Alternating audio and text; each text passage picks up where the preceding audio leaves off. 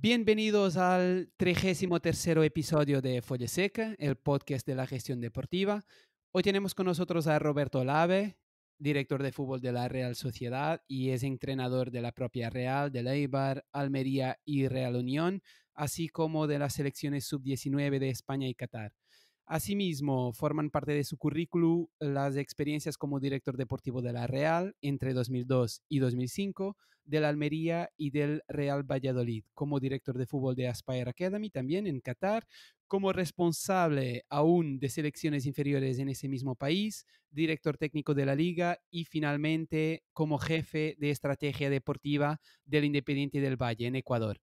Roberto, bienvenido al Folla y claro, espero eh, que con un currículum tan grande no me haya olvidado de, nada, de nada. Bueno, seguramente no sé si, te has olvidado o, incluso has inflado, ¿no? Pero sí es verdad que me, siento afortunado de, haber podido mirar eh, desde diferentes perspectivas el, mundo del fútbol, porque creo que, que es lo que me ha hecho, no sé si, si, estar en la universidad, pero seguro en la puerta de la universidad, como dice un buen amigo, que es donde, donde posiblemente más, más se aprende. ¿no? Gracias por hacer mi invitación, Pedro.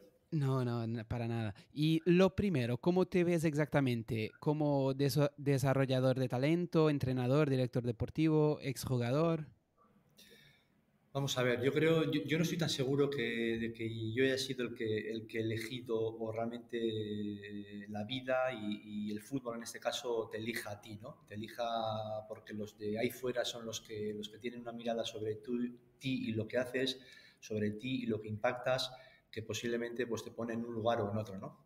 Eh, mira, yo mm, ahora mismo, pasado el tiempo y bueno, pues eh, teniendo en cuenta todo lo que has dicho y que también desde la perspectiva de jugador, en mi cortita carrera, pues, pues eh, posiblemente me he pegado más, más eh, barrigazos en, campos de, unas condiciones peculiares que en campos de Champions League, pues te hace, lo que te decía, te hace tener una, una perspectiva desde dentro, desde la gestión, desde el día a día. entonces yo creo que eso creo que, me ha enriquecido eh, la mirada. Entonces, eh, todas las vivencias esas que he tenido, pues supongo que, no he tenido la habilidad del 100% convertirlas en experiencias, ¿no? Pero sí que creo que quizás todas esas vivencias me han dado eh, la posibilidad de convertirlas en experiencias y poder ir creciendo en este, en este mundo. ahora mismo yo, obviamente, me, vinculo absolutamente a la, a la gestión, eh, pero con una mirada absolutamente determinada en el juego, ¿de acuerdo? Entonces eh, yo creo que, que, mi mirada del campo hacia afuera y de fuera hacia el campo labrada a través del tiempo, pues es lo que, pues es lo que me está dando oportunidad de, de, hacer lo que me gusta e intentar aportar. Y luego, pues sí es verdad que, que yo he estado en muchos lugares, eh, pero de alguna manera mi lugar es este, es la Real Sociedad. Eh, he entrado y he salido muchas veces, fui jugador, no fui jugador de cuna, no fui jugador de su centro de formación, pero, pero, pero estuve eh, cuatro años suficientes como para entender la filosofía y el modelo de, de, este club. luego fue, fui entrenador del sub-19, fui entrenador del primer equipo, he pasado por la Secretaría Técnica, he sido director deportivo, eh, ahora eh, director de fútbol con una visión más eh, estratégica integral de todo el proceso del, fútbol. y aquí pues vivimos este proyecto desde, desde la perspectiva del, desarrollo de los, de los, de los chicos, del desarrollo del chico al futbolista.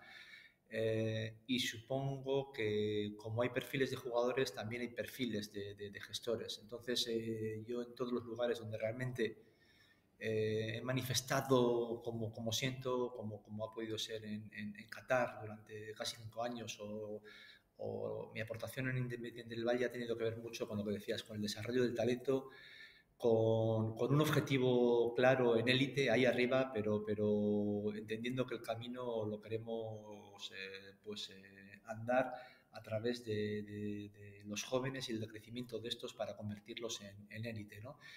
Eh, también he estado en, clubes que, que, cada temporada había que firmar a 17 jugadores o 14 jugadores o 11 jugadores. Supongo que eso lo haces como parte de, tu, de, tu, de, las funciones que, puede tener este, este puesto tan, tan utilizado para, pero tan irreal en el mundo del fútbol, pero posiblemente eh, pues no me siento identificado con, con, con esos perfiles de clubes, ¿no?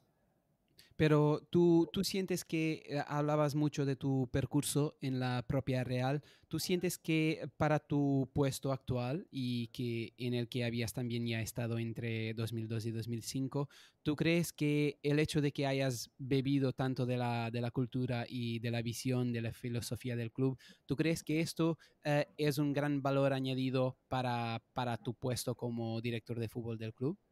Sí, no tengo ninguna duda, no tengo ninguna duda porque eh, me doy cuenta y hago la lectura que aquí estamos, eh, estamos y hemos estado en un proyecto eh, con una filosofía muy clara. de acuerdo que por momentos pues, ha tenido picos de mayor incidencia o menor, pero siempre se ha tenido el centro de formación, la academia como, como base de, de, de, todo lo demás, como génesis. estamos hablando de un, un club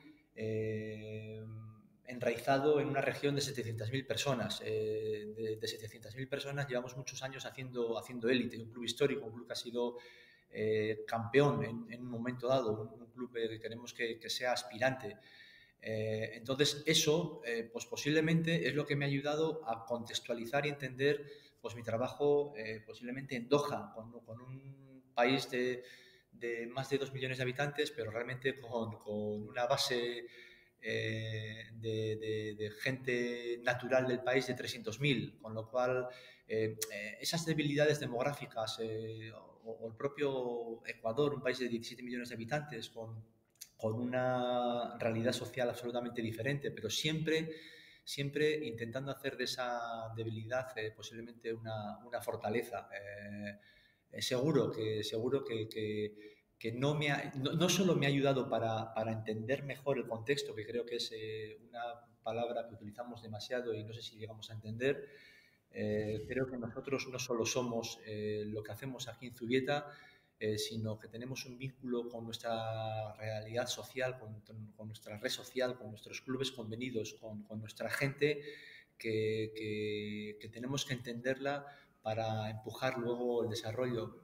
Mira, aquí yo tengo muy claro que, que, el club eh, lo comanda el Consejo de Administración con, con su presidente, un, tipo brillante, ¿no? Y que son los que, los que en base a, la historia, en base a las eh, posibilidades eh, em, incluso económicas que tenemos, en base, pues son los que marcan un poquito los, los objetivos. A partir de ahí, pues, pues eh, yo me veo en un, en un, espacio intermedio en el cual pues, eh, de alguna manera estamos intentando proponer la, la estrategia para llegar a esos, eh, a esos objetivos.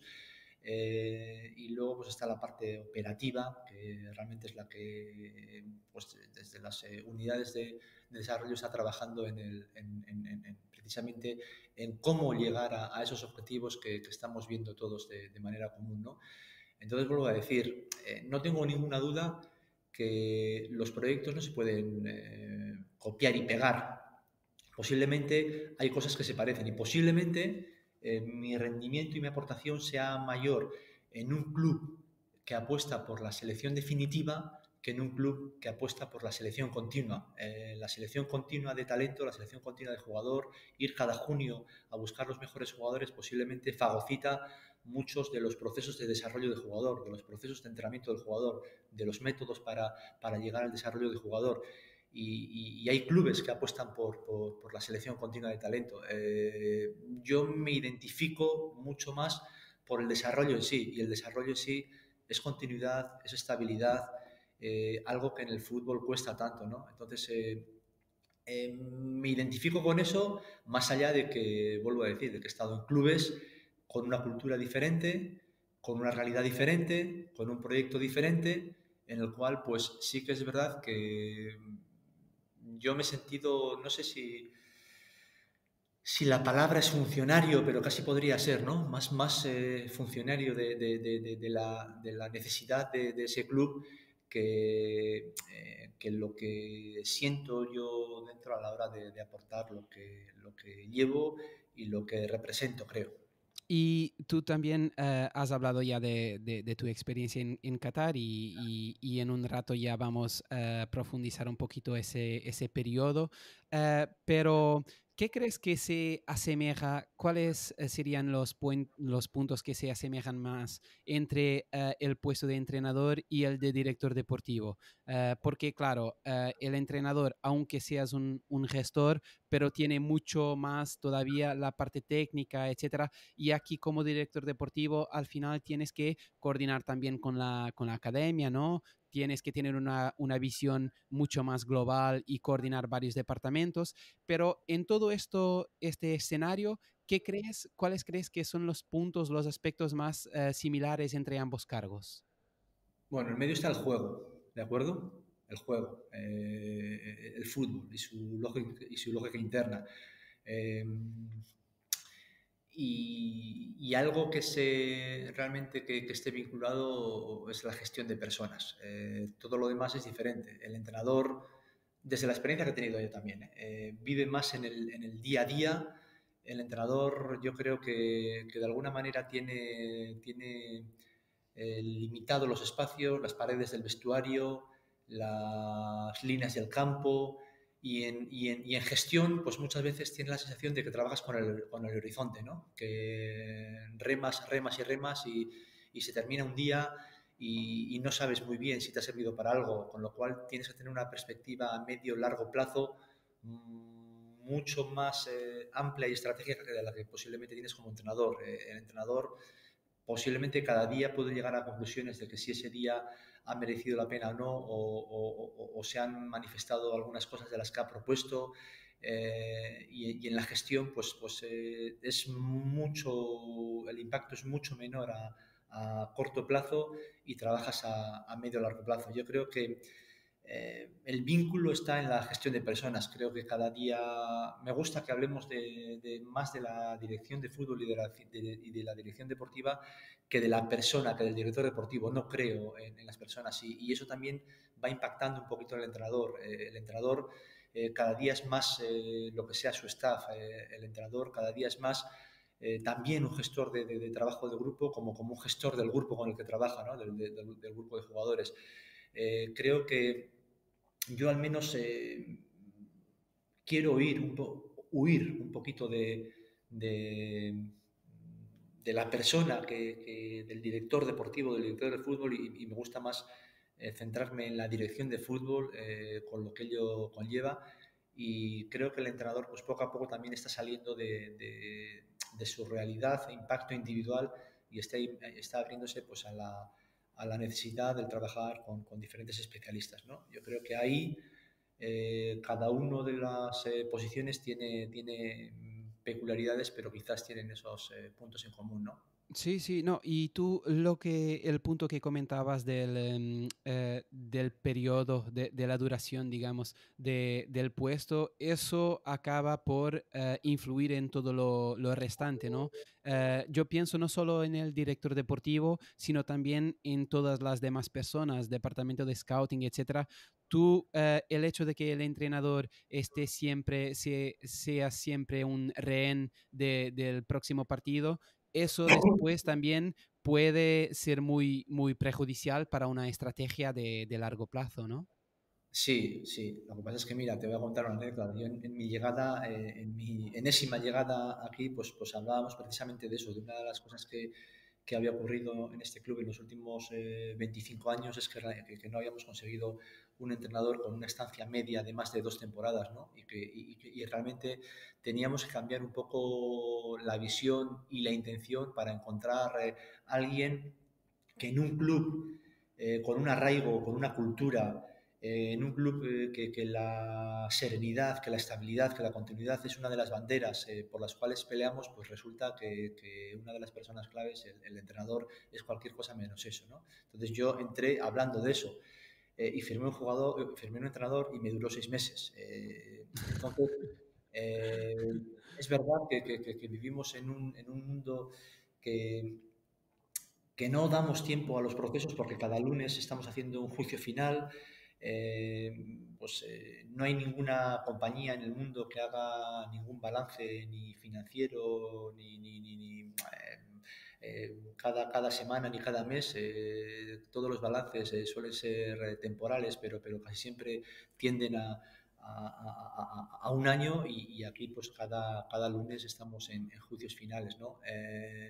tengo, tengo claro que voy a seguir peleando porque, porque creo en la continuidad como concepto social muy importante, creo en la estabilidad como concepto social más allá del deportivo muy importante y creo que eh, al entrenador pues eh, lo sometemos está sometido continuamente a, una eh, descontinuidad que no ayuda al mundo del fútbol. Lo que ocurre es que no sé si el entrenador pues, debería tener una vida y un contrato como tal indefinido o, la manera de llegar a, la continuidad del entrenador es eh, haciendo, haciendo una relación año a año. No, sé realmente, sí que creo el concepto indefinido porque, como has dicho tú, un proyecto eh, de un club eh, con un consejo de administración, con una estrategia deportiva, con una dirección de fútbol, pues al final el que le va a sacar lustro al, al, último metro de ese, de ese maratón organizativo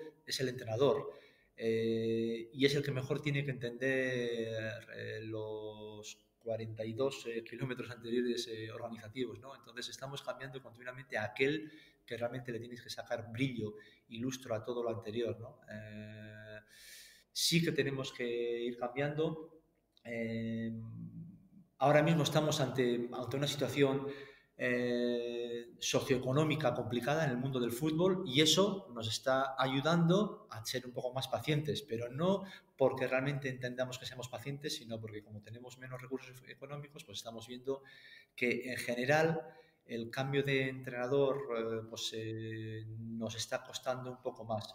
hay algunas cosas que ocurren en esta vida por casualidad y a mí me gustaría que una de las casualidades que nos trajera este periodo maldito que estamos teniendo en, todos los sentidos, eh, esta crisis sanitaria pues estuviese relacionada también con eso, con la paciencia en la búsqueda del rendimiento.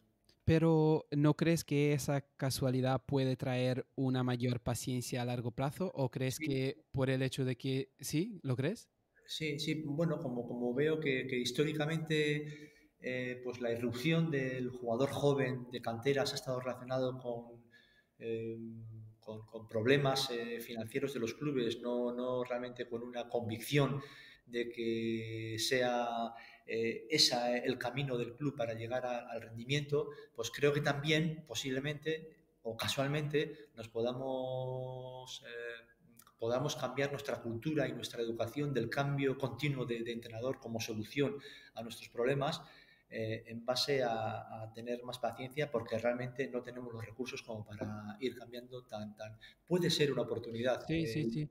No, yo, yo, pienso, disculpa Pedro, que... dime, dime. Eh, hemos hablado antes de, de la demografía, pues soy yo de los que pienso que de las debilidades tenemos que intentar explorar fortalezas y podemos estar delante de, de, una de ellas, convencernos que realmente si, si tenemos un, una idea, un proyecto sólido, eh, vuelvo a decir, la paciencia, la perseverancia, la continuidad y finalmente la serenidad de cara a ese momento de crisis, a ese lunes, a ese lunes que todos tenemos. Yo estoy viviendo un, lunes hoy, hoy, complicado después de nuestro resultado ayer en Sevilla, ¿no? Pues bueno, yo creo que es cuando más paciente tienes que ver y cuanto mejor perspectiva tienes que tener de lo que significa tu proyecto, no de lo que significa un muy mal resultado y posiblemente un muy mal rendimiento en un partido puntual como fue el de ayer, por ejemplo. Sí, sí, sí, eso es, eso es. Tú, volviendo también aquí a, las etapas de, de Qatar y de, del Independiente, em, la verdad es que cuando llegaste ahí, a, Ecuador, los dirigentes del club ecuatoriano eh, ya habían visitado a Aspire Academy en Qatar y habían ya decidido copiar eh, el modelo del eh, de, proceso de desarrollo de talento que se hacía en, en el país persa. ¿Qué hace que dicho proceso y o metodología eh, sea un case study, como podemos también verificar a través de los ejemplos de Aspire y, de, y del Independiente del Valle. Bueno, yo creo que, sinceramente, eh, no creo que lo que fue es un copia y pega, ¿de acuerdo? Porque, pues, eh, lo puedo contar en primera parte, en primera persona, perdón, como, como participante, no, como eh, líder y hacedor, como participante. Eh, y yo creo que lo que hicimos en Independiente fue similar a lo que, a lo que hicimos en, en Doha. En Doha era, era, encontrar qué es lo que queremos ser en base a lo que puedes ser. ¿no? Entonces, con, con, con Aspire que vinieron en busca de, eh, ya sabes que, en el fútbol somos mucho de entrégame el manual, ¿no? De, eh, recetas mágicas, eh, inmediatas. aunque no existan, aunque no existan. Yo creo que lo mejor que hizo Independiente es entender que detrás de todo, detrás de cualquier estrategia y antes de cualquier resultado, hay ciertos procesos y que tienes que poner las bases sólidas de esos procesos con determinados procedimientos. Y ahí eh, yo creo que la visión de, la gente de, Independiente, eh, sus propietarios, Michel Deller, eh, Franklin Tello y su cabeza deportiva como Luis Rogero tenían, tenían en cuenta eso, que esto, esto no es inmediato, esto, esto es un proceso que tenemos que construir.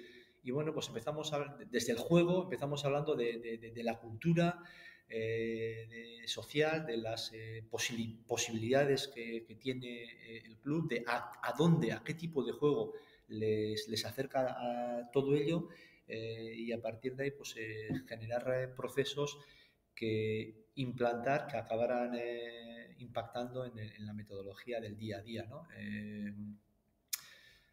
pues son oportunidades que te encuentras, como fue la de, la de Doha, ante hojas en blanco, ¿no? Hojas en blanco que posiblemente pues, pues es muy complicado, eh, pero es una gran oportunidad porque de alguna manera, eh, aparte de que es eh, un súper desafío, intentar ayudar a, un país que lo que estaba haciendo es en ese momento organizar un, mundial o, iniciar la organización de un mundial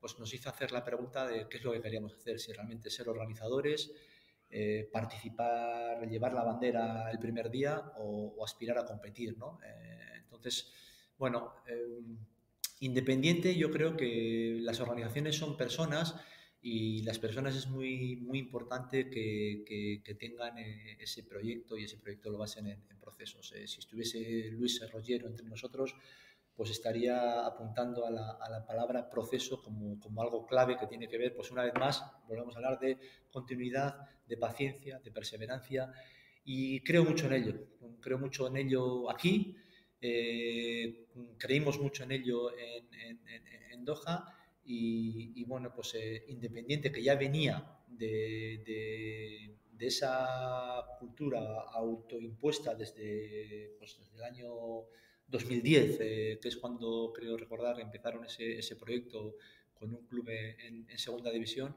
hasta 2015, que es cuando le quisieron dar el empujón definitivo para tener una, identificación, una identidad eh, perdón, eh, propia con la que poder aspirar y, tener la ambición de, basarte más en, los sueños que en los miedos, pero siempre, siempre con, con una solidez de contenidos, ¿no? Ah, porque es muy, muy fácil hablar de ser ambicioso, eh, de ser dreamer, de ser soñador, pero si realmente detrás, esto es muy difícil, eh, si realmente detrás no tienes una base sólida de, contenidos que te ayuden a, trabajar en esa convicción, pues eh, va a ser un poquito más difícil llegar al resultado. ¿no? Claro, no, y, hablando también del proceso de, Aspire, eh, la verdad es que, y, corrige eh, si estoy equivocado, pero em, mucho del proceso pasa también por traer a la academia a jugadores extranjeros, ¿no? Con el objetivo después en el futuro de eh, que se puedan naturalizar ciudadanos de, Qatar, ¿verdad? No, no, la verdad es que Yo os explico, hay, hay mucha leyenda sobre ello, ¿no?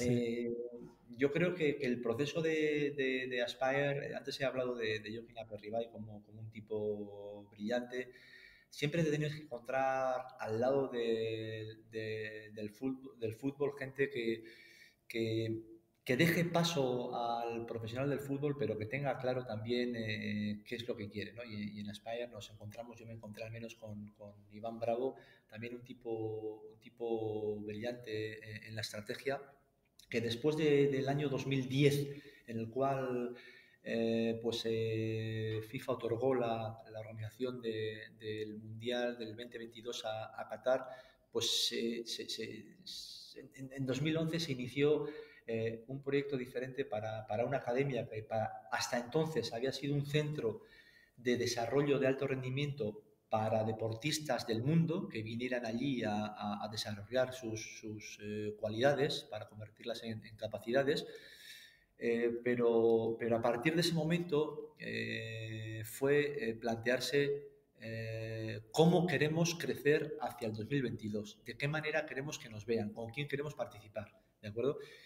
Y ahí, pues es muy importante que sepamos que me has hablado del, final del camino. Eh, Qatar es un emirato que en un momento dado puede dar un pasaporte a un ciudadano, pues como le dio a, Valero Rivera cuando ganaron el, perdón, cuando fueron subcampeones del mundo de balonmano, eh, le, dieron un pasaporte pues, eh, pues que, no es como nacido, sí, pero, pero, pero Qatar no puede eh, vivir al margen de las normativas que pone FIFA, ¿de acuerdo? O sea, nosotros aquí eh, en España también naturalizamos a, atletas eh, norteamericanos para que hagan media maratón o para que hagan 10.000 o que, ¿de acuerdo? O sea que una cosa es los acuerdos sociopolíticos y otra cosa son las realidades de normativa deportiva. Entonces, la normativa deportiva de FIFA dice que cualquier persona que lleve eh, cinco años o más, eh, desde los 18 años, eh, en, un país viviendo, pues puede tener acceso a, la, doble nacionalidad, ¿de acuerdo? no, es un, es un proyecto de, de chicos nacidos en Qatar tengamos en cuenta que Qatar, pues con una población de menos de 2 millones y medio de habitantes o cercano a los 2 millones y medio de habitantes, eh, cataríes como tal, puros, eh, tienen 300, 350 mil, el resto... El 12%, el 12% solo. Eso es, el resto somos ciudadanos del mundo, pues seguramente muchos de los niños nacidos allí puede ser considerado Qatar, pero que tengamos en cuenta que el propio Emirato no considera la nacionalidad catarí hasta la cuarta generación. O sea, yo he podido tener un hijo nacido en Qatar, pero mi hijo nunca, por ser nacido en Qatar, va a tener el, pasaporte catarí.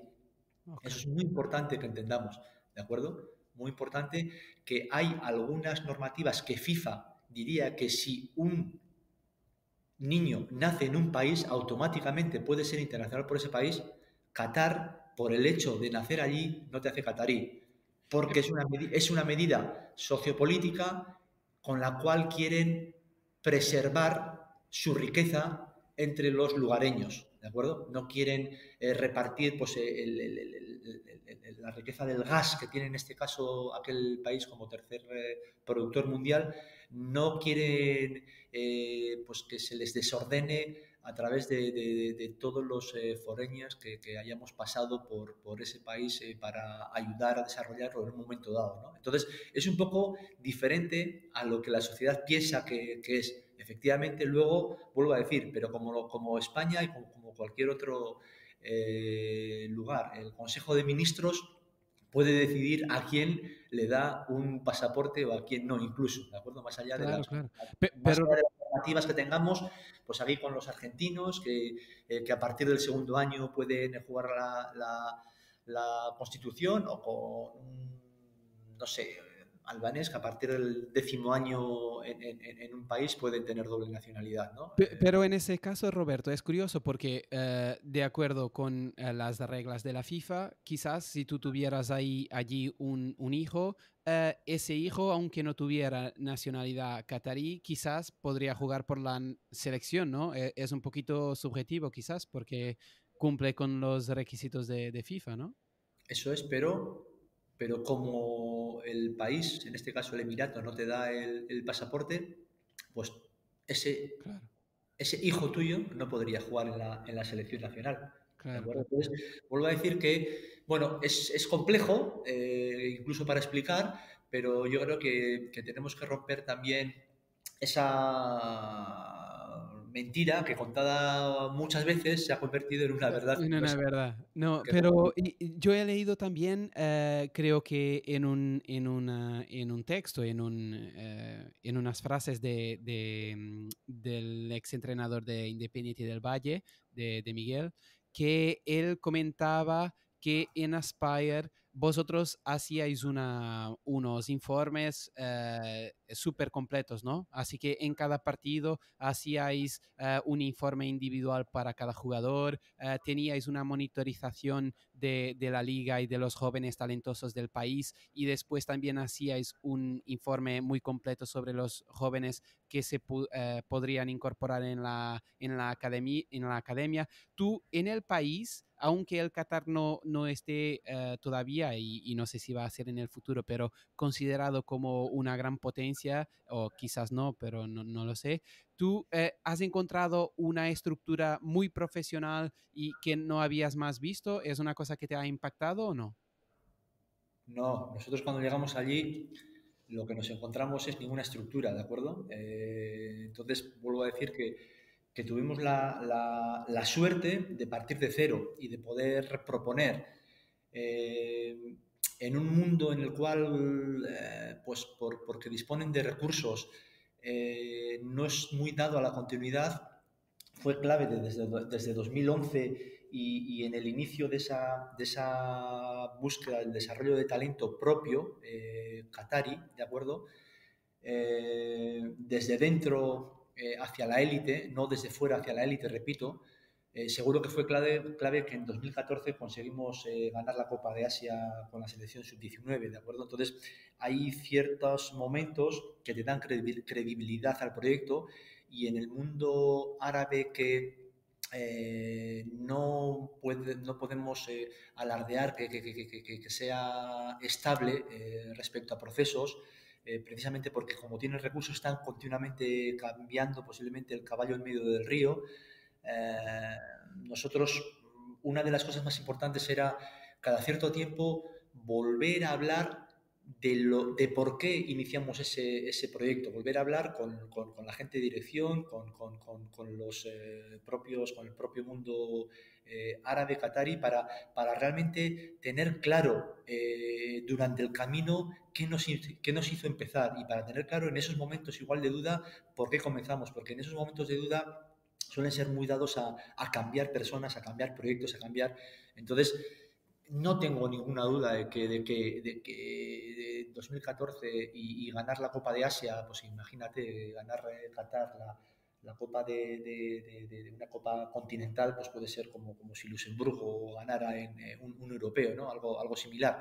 Pues eso nos ayudó a ganar credibilidad y a coger y a, dar un impulso eh, realmente eh, y, a, generarnos un respeto por el trabajo que se había hecho que realmente estaba en el camino. ¿no?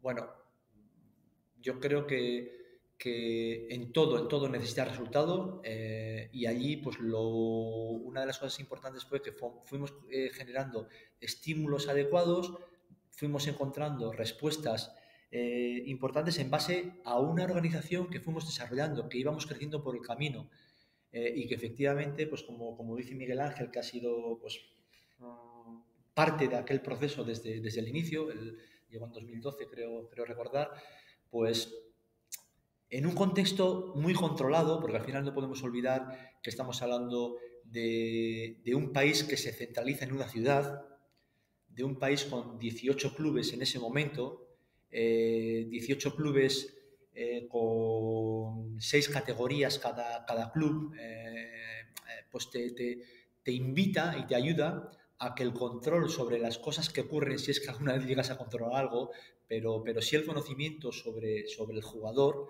eh, si realmente a nada que te organices en, lo que significa la observación, la identificación, la, la, detección, esos, esos pasos que hay que tomar antes de la selección definitiva y antes de empezar con las etapas de desarrollo, eh, pues es más sencillo. Es más sencillo. Yo siempre digo que seguro, seguro que es más sencillo trabajar con una base como aquí de 700.000 eh, habitantes, como en Doha de 300.000 habitantes puros, digamos, eh, que ir a Estados Unidos o que ir a China y que ir a Rusia, que yo creo que uno de los porqués de esas grandes eh, potencias eh, demográficas, uno de los porqués eh, no consiguen tener continuidad en, esto del fútbol, yo creo que está basado en eso, ¿no? En, que, en, que, no es sencilla la aplicación de esos procesos y esos procedimientos como, como fue allí. Allí todo lo que tenía que ver con la selección, el entrenamiento y la competición fue una oportunidad extraordinaria para nosotros de construirla en base a lo que nosotros eh, entendíamos. Eh, allí la competición eh, dentro de una academia no nos alteraba el ritmo de cada viernes o cada, o cada lunes. Aquí en, la Real Sociedad, pues imagínate, cada domingo que jugamos contra el Athletic, aunque sea en cadetes, te determina cómo es el viernes y cómo es el lunes. Y una de las grandes mentiras que suele ocurrir es que tú estás trabajando durante todo un tiempo, durante toda una semana, en una manera de, entender el juego, en una manera de entrenarlo, y, llegas a esos partidos y lo único que te, importa, que te importa es no perderlo como primer paso y ganarlo como sea. Y ganar como sea eh, significa vivir como sea. Y vivir como sea no está relacionado con vivir como tú quieres o como tú debes respecto a un proyecto. Entonces, allí en una academia no, nos, no teníamos el problema del viernes y del lunes, eh, los chicos salían a los clubes, los chicos competían con sus clubes, nosotros podíamos tener una visión diferente dentro de, del chico compitiendo fuera de, su entorno académico y luego venían a la academia a seguir su proceso de desarrollo, con lo cual nosotros ganábamos eh, siempre, empatábamos siempre y perdíamos siempre, porque no éramos parte de, ese día, de, ese momento o de esa semana a semana, ¿de acuerdo? Luego, por otro lado, pues organizábamos eh, competiciones como estímulos que realmente nos ayudaran a crecer. Y en el inicio, pues, pues nos encontramos con, un proyecto en el cual para ellos era muy importante el papel del regalo cuando llegamos allí en 2011. Y el papel del regalo significaba que, les encantaba jugar contra el Liverpool o contra el Bayern de Múnich, pero, pero para, para no tener un, problema, pues preferían jugar contra, generaciones de dos años menos o de tres años menos para, para perder lo menos posible o incluso llegar al, al, éxtasis del empate, ¿no? Contra, contra eso. Entonces, estaba siendo una pequeña gran mentira aquel tipo de resultados. Entonces, nosotros nos planteamos que, ¿por qué no? Perder es crecer si realmente eres consciente de cómo estás perdiendo. Eh, tener vivencias que luego podamos eh, convertir en experiencias eh, va a ser significativo si realmente tenemos conciencia y conciencia de cómo son. Entonces, pues también el, hecho de, generar un, itinerario competitivo adecuado y estimulante fue, fue, pues fue clave. Yo creo que esas tres, esas tres cosas, los procesos de, observación, el proceso y la metodología de entrenamiento y el itinerario competitivo, yo creo que nos lo dejaron construir eh, en base a las necesidades que, entendíamos nosotros y bueno, pues, pues eh, imagínate, pues yo creo que un, casi un 60% de jugadores de, ese, periodo core que fue la generación 95, 96, 97 hasta, hasta la 2001, creo que fueron, el 60% fueron luego campeones de Copa de Asia absoluta el año pasado, eh, repitiendo un, hito, ¿no? Bueno, yo creo que, que las cosas eh, pocas veces pasan por casualidad y que, si hay proyectos de continuidad y basados en procesos, ganar es muy difícil, porque ganar solo gana uno, pero, pero aspirar eh, te va a dejar aspirar. Sí, sí, sí. No, y, dos años atrás ya en la Real, porque aquí como tienes una, una experiencia tan grande y tan, y tan diferente, ¿no? En términos de, cultura, nos obliga casi a estar aquí en un ping-pong de, temas. Eh, y dos años atrás ya en la Real, tú has tenido, tuviste en aquel momento la oportunidad de comentar que ojalá dentro de dos, tres años podamos estar hablando que tenemos jugadores que están rendiendo a pleno rendimiento, pero en ningún caso viene ningún jugador de fuera para tapar ese relevo generacional. Lo que te quería preguntar o hablar contigo es, ¿tú crees que estamos en un punto donde podemos decir ya tranquilamente que difícilmente la Real va a comprar a un jugador para un puesto eh, si para el mismo puesto tiene, sea en el Sanse que en los juveniles, por ejemplo, a un jugador muy, muy capacitado para ese puesto? ¿Crees que la Real ha conseguido ya eh, lograr este nivel de organización? Eh, la Real ha sido eso toda la, toda la vida, ¿de acuerdo? Lo que ocurre es que yo creo que, vuelvo a apelar a la palabra conciencia, yo creo que ese, proceso de desarrollo de jugador, pues en el tiempo yo creo que ha sido más, más intuitivo y ha sido un proceso que, ha esperado más que ha buscado, que ha esperado quién es el, que puede llegar al primer equipo.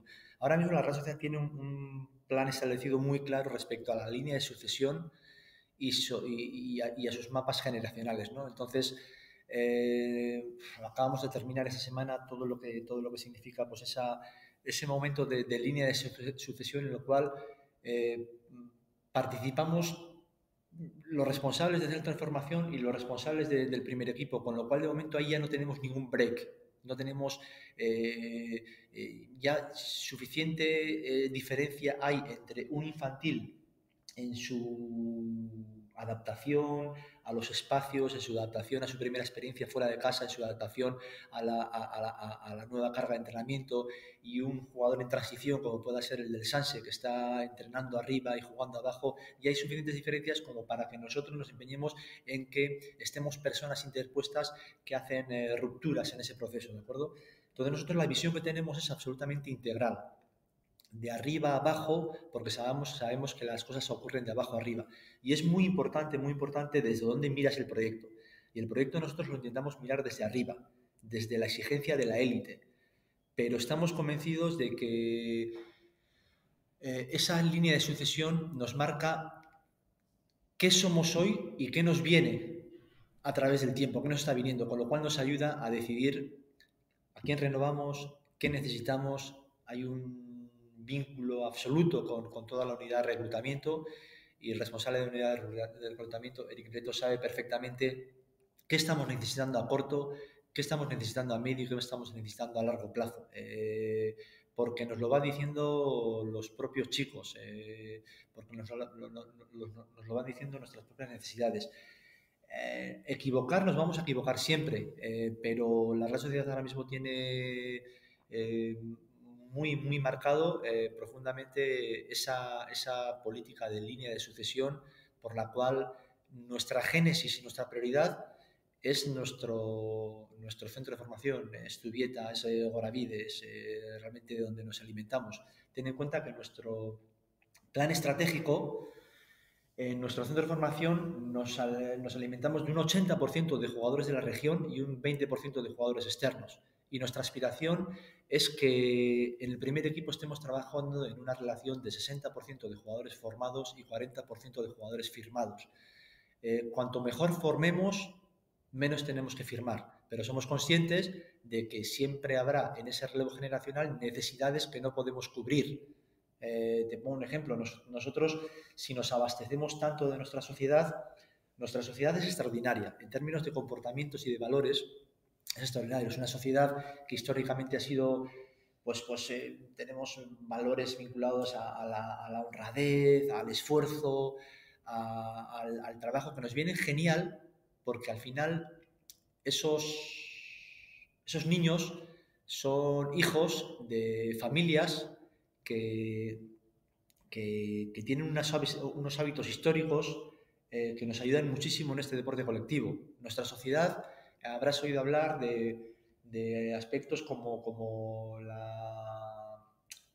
las sociedades gastronómicas, que no deja de ser gente que se junta en torno a, unos, a un plato para comer, eh, gente que se hace la comida, eh, cuadrillas de amigos, eh, eso, eso, es, eso es grupo, eso es asociación, eso nos ayuda, eso es generosidad, eso nos ayuda muchísimo a, a, luego lo que vamos a tener más tarde, e, incluso, e incluso comido en una, solamente para hacer esta, esta nota. Pues, pues, imagínate, eh, en nuestra sociedad, imagínate, aquí tenemos una media maratón que habrás oído hablar de la Beovia San Sebastián, eh, que la corren 30.000 personas, de las cuales 10.000 son del territorio. si 10.000 personas guipuzcoanas sobre un sobre, sobre un total de 700.000 de población están haciendo ese tipo de, deporte, pues eh, yo siempre digo una cosa, que correr un día es esfuerzo, correr todos los días es compromiso. Si tenemos eh, tantos niños, tantos chicos que, están viviendo de esa sociedad, seguramente para nosotros va a ser más fácil eh, trabajar ciertos comportamientos vinculados a, valores. entonces, bueno, todas esas cosas a nosotros nos, nos ayudan, todas esas cosas que son determinantes que hemos hablado de una sociedad como la Qatari, que uno de los problemas que teníamos precisamente era ese, la cultura social que había respecto al deporte, en el cual para las familias eh, hicimos un estudio muy chulo con... 300 familias. Eso es. Eh, veo que, que, que, has, eh, me has escuchado alguna vez. O, determinante. O sea, el hecho de que no hubiese ninguna familia, ninguna, que considerara el deporte barra el fútbol como una posibilidad profesional para, para, su hijo, pues te decía bastante. El hecho de que haya una media per cápita de, de, de, 90.000 euros, pues, pues te dice que quizás la necesidad de esa familia no está relacionado con, con el esfuerzo, con el compromiso diario, con el tener que... Eh, no, y, y, a la vez, Roberto, lo que has hablado también ya en Ecuador las, las familias cuando os daban, cuando daban al club a un chico, le, estaban pidiendo ayuda, ¿no? Para salir de una situación de, pobreza. Así que es muy distinto una situación en la que la familia necesita el club para salir de esa situación y otra en la que las familias no piensan siquiera que su hijo eh, pueda tornarse un eh, jugador, ¿no? Profesional lo he repetido, lo he repetido siempre, que la gran diferencia entre, entre un mismo niño de 12 años en Qatar, en San Sebastián o en Ecuador, eh, la experiencia me ha dicho que era absolutamente distinta. Eh, unos estaban pidiendo ayuda, te estaban pidiendo que les salve la vida, otros no sabían exactamente qué, era, qué significaba ese momento y no le daban mayor importancia, con lo cual pues bueno, no te ayudaba en sí y otros, pues aquí lo que te están diciendo es, eh, ojo, eh, no, no, le saques a mi, a mi hijo del camino por donde lo queremos llevar dentro de, la sociedad, ¿no? Eh, y son niños de 12 años o de 11 años, cada uno de ellos igual, de, de, igual manera. Entonces, sí que tienes que tener una lectura de contexto social, qué es lo que ocurre ahí fuera, porque lo que ocurra ahí fuera te va a determinar lo que puedas hacer y lo que ocurra aquí dentro. Eh, no podemos vivir de espaldas a, lo que significan los entornos académico, social, familiar de todos los niños. Yo en el 99, cuando dejo de jugar al fútbol y cuando empiezo con el equipo sub-19 a, entrenar, pues eh, parecía que, la premisa aquella de la familia, cuanto más lejos mejor, era súper importante para que te dejaran trabajar es mentira. Eh, me he dado cuenta que estaba absolutamente equivocado.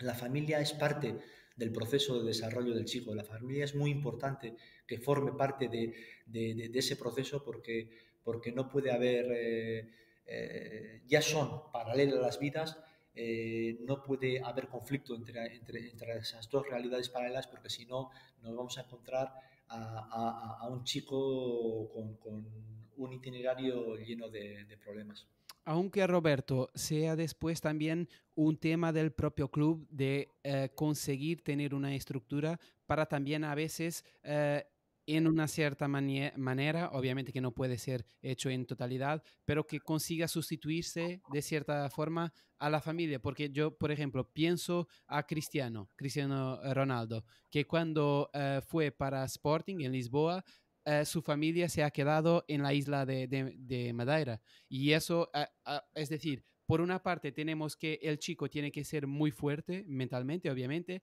pero al mismo tiempo tiene que también estar incorporado en un club que tenga la estructura para conseguir hacer ese acompañamiento, ¿no? Mira, aquí en la Real Sociedad, eh, y en base también a lo que hemos ido aprendiendo, eh, yo en, el mundo, en general hablo de, de pilares de desarrollo, ¿de acuerdo? Y los pilares de, desarrollo está basado en, en, la selección, que luego tendrá unos ejes, como se hablaba antes, un poco como, como la, identificación, la detección, la observación, pero la selección es, un pilar, el entrenamiento es, eh, un pilar eh, importante, que luego vendrán derivados los ejes pues, de, eh, de, la estructura, del modelo, de la metodología, de la temporización, de la priorización, de la individualización. un tercer eje podemos hablar que es la competición, la competición pues, que, se deriva también con, otros ejes y que desglosa pues, en la competición que nos manda la, la, federación, que, esa la tenemos pues, pues porque ellos deciden, pero no sé si, si podemos entender que una misma competición eh, es la buena para todo el mundo y para todas las realidades, ¿de acuerdo? Pero la tenemos que asumir, pero, pero también podemos desglosar luego en, competiciones paralelas o en competiciones eh, adaptadas, eh, que tendríamos que tenerlas muy claro en cada, en cada realidad contextual de cada club eh, un cuarto pilar eh, es la, evaluación. La evaluación tenida en cuenta como, como, un estímulo, ¿de acuerdo? Como una oportunidad, como, como, como evaluación, como, como, como, como, principio de, evolución. No, no como tenemos la evaluación, que es un examen y que, que, se convierte en el primero de los problemas. ¿no? Y hay un quinto pilar para mí muy importante, que es el de la educación y los clubes cada vez tenemos que invertir más recursos y más sensibilidad en lo que significa la educación. La educación del jugador tiene precisamente está vinculado a todos esos ámbitos que, hablábamos antes, antes, al ámbito familiar. Eh, nosotros no podemos sustituir a la madre de Cristiano, pero tenemos que ponernos eh, en, el lugar de Cristiano sin la madre, con lo cual tenemos que intentar darle una cobertura al jugador.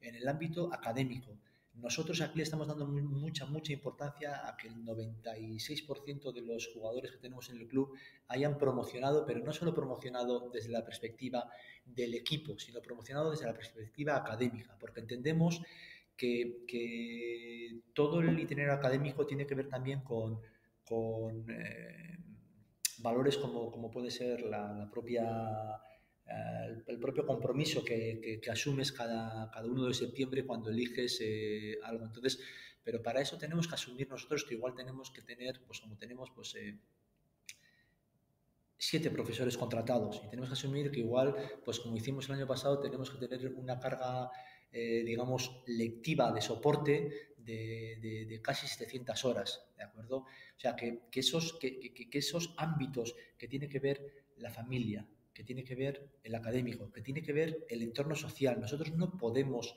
eh, arrancar al niño de su entorno social, de sus amigos, de su gente y decirle chao. Nosotros tenemos que entender que igual eh, en unas edades determinadas es más importante que esté allí que que esté aquí.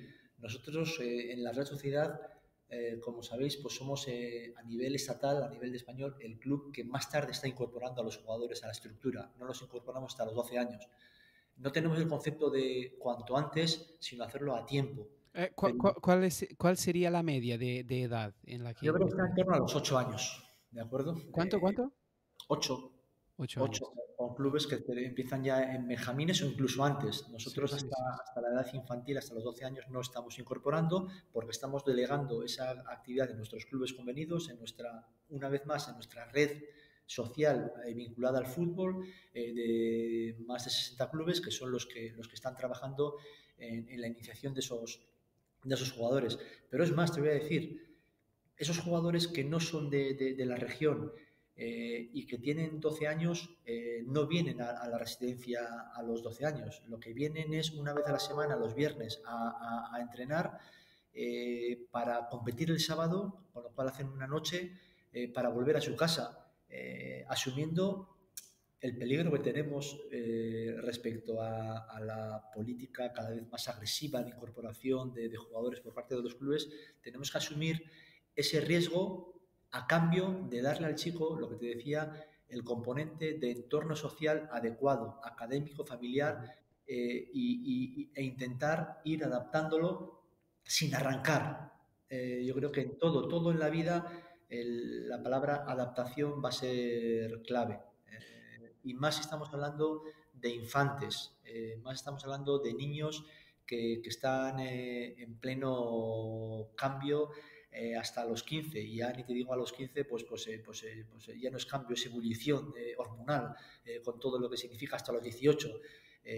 ya a los 18 es diferente porque son adultos que empiezan a, plantearse cuál va a ser la realidad, su realidad en el, proyecto transitorio hacia la élite o no. ¿no? en todas esas etapas no nos podemos olvidar de cuál es la realidad que rodea al jugador fuera de lo que, de lo que estamos nosotros eh, centrados, que es en su itinerario deportivo. ¿no? Eh, tengo la sensación de que tomamos demasiadas decisiones sobre los jugadores en base a,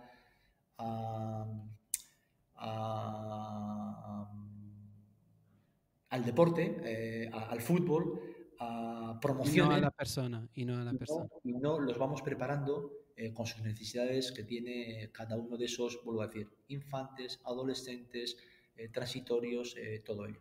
E, ¿Eso, tú crees que esa paciencia tiene que estar mucho más enfocada en esas edades, antes de los 12, o también tenéis la filosofía de tener esa eh, misma paciencia para edades superiores. Por ejemplo, me imagino que eh, en un jugador que tenga 16 o 17 años y que quizás eh, pudiera ya jugar en una primera división por ser un fenómeno, pero que vosotros quizás podríais esperar un poquito más. ¿Cómo lo veis en otras edades más avanzadas? Yo creo que la paciencia es clave, ¿de acuerdo? Porque paciencia eh, está vinculado a perseverancia, eh, a exigencia también. Eh, y, está ligado a proceso y a programas, ¿de acuerdo? mira, como, como, dato, nuestro, nuestro segundo equipo, nuestro primer equipo tiene una, media de edad muy, muy baja, ¿vale? Pero nuestro segundo equipo, pues, con una media de edad un poquito por encima de los 20 años, eh, tiene una media de estabilidad dentro del club de un poquito más de 8 años. O sea, te está diciendo que un equipo joven lleva casi 8 años en el club, con lo cual ya te está diciendo la media de todo ese grupo, si nosotros no hacemos bien las cosas por el camino, nosotros no vamos a encontrar resultados. Si nosotros tenemos a ese jugador una media, a ese, a ese grupo, una media de 8 años con nosotros, quiere decir que va a ser muy importante lo que hagamos nosotros a través del tiempo con ellos. Y si, y si nos equivocamos y durante esos 8 años de media no tenemos claro qué es lo que queremos para ellos, pues seguramente no vamos a poder prepararlos para lo que estamos necesitando, eh, que es élite. Y la élite es muy complicada. La élite es, por momentos eh, peligrosa. Con lo cual, en ese itinerario de desarrollo tenemos que tener claro cuáles son las prioridades que tenemos para cada uno de las edades y cada uno de los elementos. Nosotros siempre, yo he defendido siempre, de acuerdo, que cada, que cada jugador es un proyecto eh, en sí, allí donde está. Eh, pues aquí tenemos la, suerte de tener una, herramienta que es tremenda, que es nuestra ciudad deportiva, que es Tubieta, rodeada de lo que he dicho antes, de, un contexto que nos ayuda, que nos ayuda, el contexto social eh, nos ayuda, nos obliga muchísimo porque hay una participación sociopolítica en todos los procesos de, eh, desarrollo deportivo, pues que, que te dicen no solo pueden hacer fútbol, tienen que hacer tres eh, modalidades deportivas al año los niños en deporte escolar, eh, no queremos que haya una especialización temprana. Eso, en teoría, va un poco contra tus principios de cuanto antes mejor, cuanto más mejor, ¿de acuerdo? Pero sí que estamos enriqueciendo el proceso de ese niño primero, ese niño, porque, porque no, no, no conozco con 12 años a ningún arquitecto, a ningún periodista, a ningún ingeniero, a ningún albañil, y con 12 años estamos hablando de futbolistas, eh, es una locura.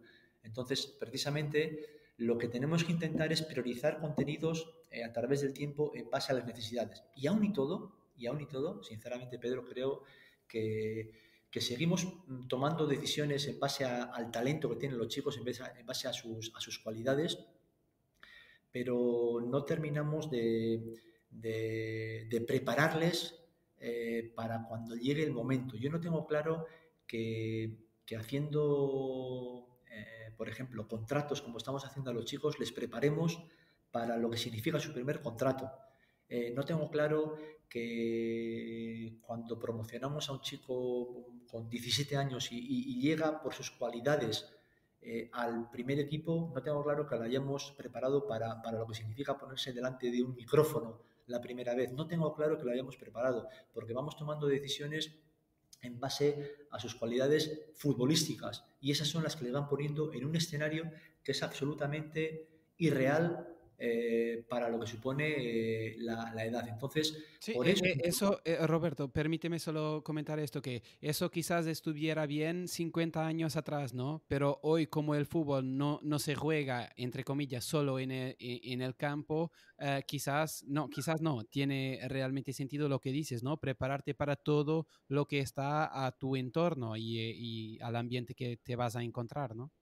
Sin duda, sin duda es un proceso educativo, cultural, deportivo. Eh, y, hay, y hay, volvemos a lo que hemos hablado, Pedro, tanto que no podemos vivir al margen del entorno del jugador y tenemos que ir creciendo eh, en ese aprendizaje, porque lo de aprender parece que es solo el jugador, en ese aprendizaje mutuo, o sea, estamos aprendiendo cuando, cuando enseñamos o pensamos que estamos enseñando, lo que estamos haciendo es intentar aprender eh, todos juntos. Entonces, el club, eh, el jugador eh, y los entornos son necesarios para llegar a ese momento. Entonces, eh, ese momento de aprendizaje lo tenemos que intentar desarrollar de manera, de manera conjunta. Vuelvo a decir, si cada jugador es un proyecto, tenemos que tener en cuenta la individualización, la priorización, pero también la diferenciación. No todo el mundo es igual, no todo el mundo eh, tienen las mismas necesidades, ¿de acuerdo? Entonces, a partir de ahí, eh, si cada jugador es, un proyecto, pues eh, cada, entrenador que pasa con ese jugador de dos a cuatro horas diarias, pues va a ser nuestro guía, va a ser importantísimo y cada grupo, cada equipo le tenemos que convencer a ese, entrenador que es una plataforma de desarrollo, que no es su equipo, que no es el equipo que queda primero o último, que no es mi equipo, que es una plataforma en sí, que por desgracia además en el fútbol de élite con un componente no tan social, pues no llegan equipos al primer equipo, no llegan generaciones enteras, van a llegar equipos, con lo cual tenemos que convivir y, y co-culturizar al entrenador que su equipo es una plataforma de desarrollo eh, de, los jugadores y cuando el average de esas plataformas de desarrollo sea mayor, mejor preparados estén esos elementos para dar el salto. Y a partir de ahí, pues lo que te decía, tenemos una suerte inmensa de, tener la, herramienta que para nosotros es Zubieta, que es nuestro centro formativo, nuestro centro de operaciones, nuestro lugar físico, pero también eh, nuestro lugar emocional. ¿no? Eh, Zubieta no solo, no solo está aquí donde estoy yo, sino, sino, sino lo que intentamos es exportarlo como concepto a todos nuestros clubes convenidos, a, todos nuestros eh, centros de tecnificación, para entender una forma de, hacer y una forma de ser. ¿Y tú, Roberto, crees que a lo largo de las temporadas, en los años en los que Zubieta no ha proporcionado ah, ese talento joven ah, al primer equipo, ¿Tú crees que eso es solo un tema eh, generacional o también un tema de responsabilidad de eh, los eh, dirigentes, entrenadores de, cada periodo? Porque antes solo de, pasarte la palabra, lo que sí yo creo es que muchas veces la gente habla de generaciones, como si he pasado dos, tres años hubiese una gran generación que no había dos o tres años atrás pero en mi opinión esto no es el pensamiento correcto, al menos no es el, principal del tema, en el sentido que la, formación y el desarrollo de talento solo vale para alimentar el primer equipo, ¿no? Entonces, que aunque tú no tengas eh, posiblemente una estructura, aunque no estés trabajando bien, si el club en cuestión apuesta por el joven, este club estará de, una cierta manera, aunque sea forzada, estará aprovechando mucho más su formación que un club que lo tenga todo, pero que eh, eh, esté siempre fichando a jugadores de fuera que propiamente que aprovechando los jugadores de casa. No, sé si, si me hago entender. Más o menos, Pedro. Mira, yo creo que hay dos vocablos, dos palabras eh, que me dan mucho miedo, mucho. Contexto y generación. Eh, esas dos palabras se nos convierten en las mejores excusas. ¿De acuerdo? No, es que el contexto no es el propicio, con lo cual dejo de trabajar. No, es que esta generación no es más floja, con lo cual eh, me exime de responsabilidad. Son dos palabras muy, muy peligrosas. Yo creo que, como te decía antes, Eh, en general, en general, yo creo que, es muy importante desde dónde ves eh, ese proceso de desarrollo, desde dónde ves tu proyecto. Y es muy importante, bajo mi punto de vista, verlo desde arriba. Desde arriba en el sentido de que eh, nosotros aquí lo que estamos intentando generar es o jugador de élite o profesional para la vida, porque estamos convencidos de que hay muchos comportamientos vinculados a valores que a los chicos, más allá de que sean futbolistas, que es muy complicado, que el porcentaje es ínfimo, eh, le sirva para, para, para, luego afrontar la vida eh, en el fútbol eh, o en cualquier actividad profesional. ¿De acuerdo? Entonces nosotros ahora mismo estamos encantados de tener 16 jugadores en el primer equipo, pero igualmente estamos encantados de que haya pues, 11 jugadores en, en, segunda división o 17 en primera división que han salido de Zubieta o más de 20 jugando en ligas europeas eh, de primera división, ¿de acuerdo? Es una manera también de, dar posibilidades a, los hombres, pero vuelvo a decir, eh, contexto y generación no deberían ser eh, excusas. En, general, yo creo que falta un poquito visión de, itinerario de desarrollo de jugadores. Y creo que la promoción del jugador, que para nosotros es un aspecto fundamental, eh, no debería ser una casualidad. Y sí que creo que en el tiempo, históricamente, los clubes, como tienes equipos, como tienes plataformas, como te decía, pues posiblemente quizás siempre vaya a haber alguien que tenga cualidades. Y ahí vas a depender de si arriba eh, hay alguien más o menos valiente, eh, hay alguien más o menos que, cree en el joven, o hay alguien más o menos que, bueno, que con más o menos presión del entorno y de la clasificación puede tomar decisiones. No debería ser así debería estar basado en un programa de eh, relevo generacional vinculado a que tú empujes al jugador, pero que sea parte de tu proyecto. Nosotros lo que te decía antes, si queremos trabajar un 80-20 y te queremos eh, transferirlo a un 60-40, nos tenemos que obligar muchísimo. Y luego además, el problema que tienes de trabajarlo sin un programa es que posiblemente en esa plataforma vas a encontrar jugadores con cualidades pero que no van a estar preparados para afrontar lo que significa la, agresividad que tiene la élite. Y ahí para mí está una de las claves, preparar para que estén preparados. Y cómo les convences a ellos de que el objetivo no es llegar, porque si el objetivo es llegar no va a estar preparado para que lo que viene después. Y lo que viene después, la consolidación, es mucho más dura que la promoción.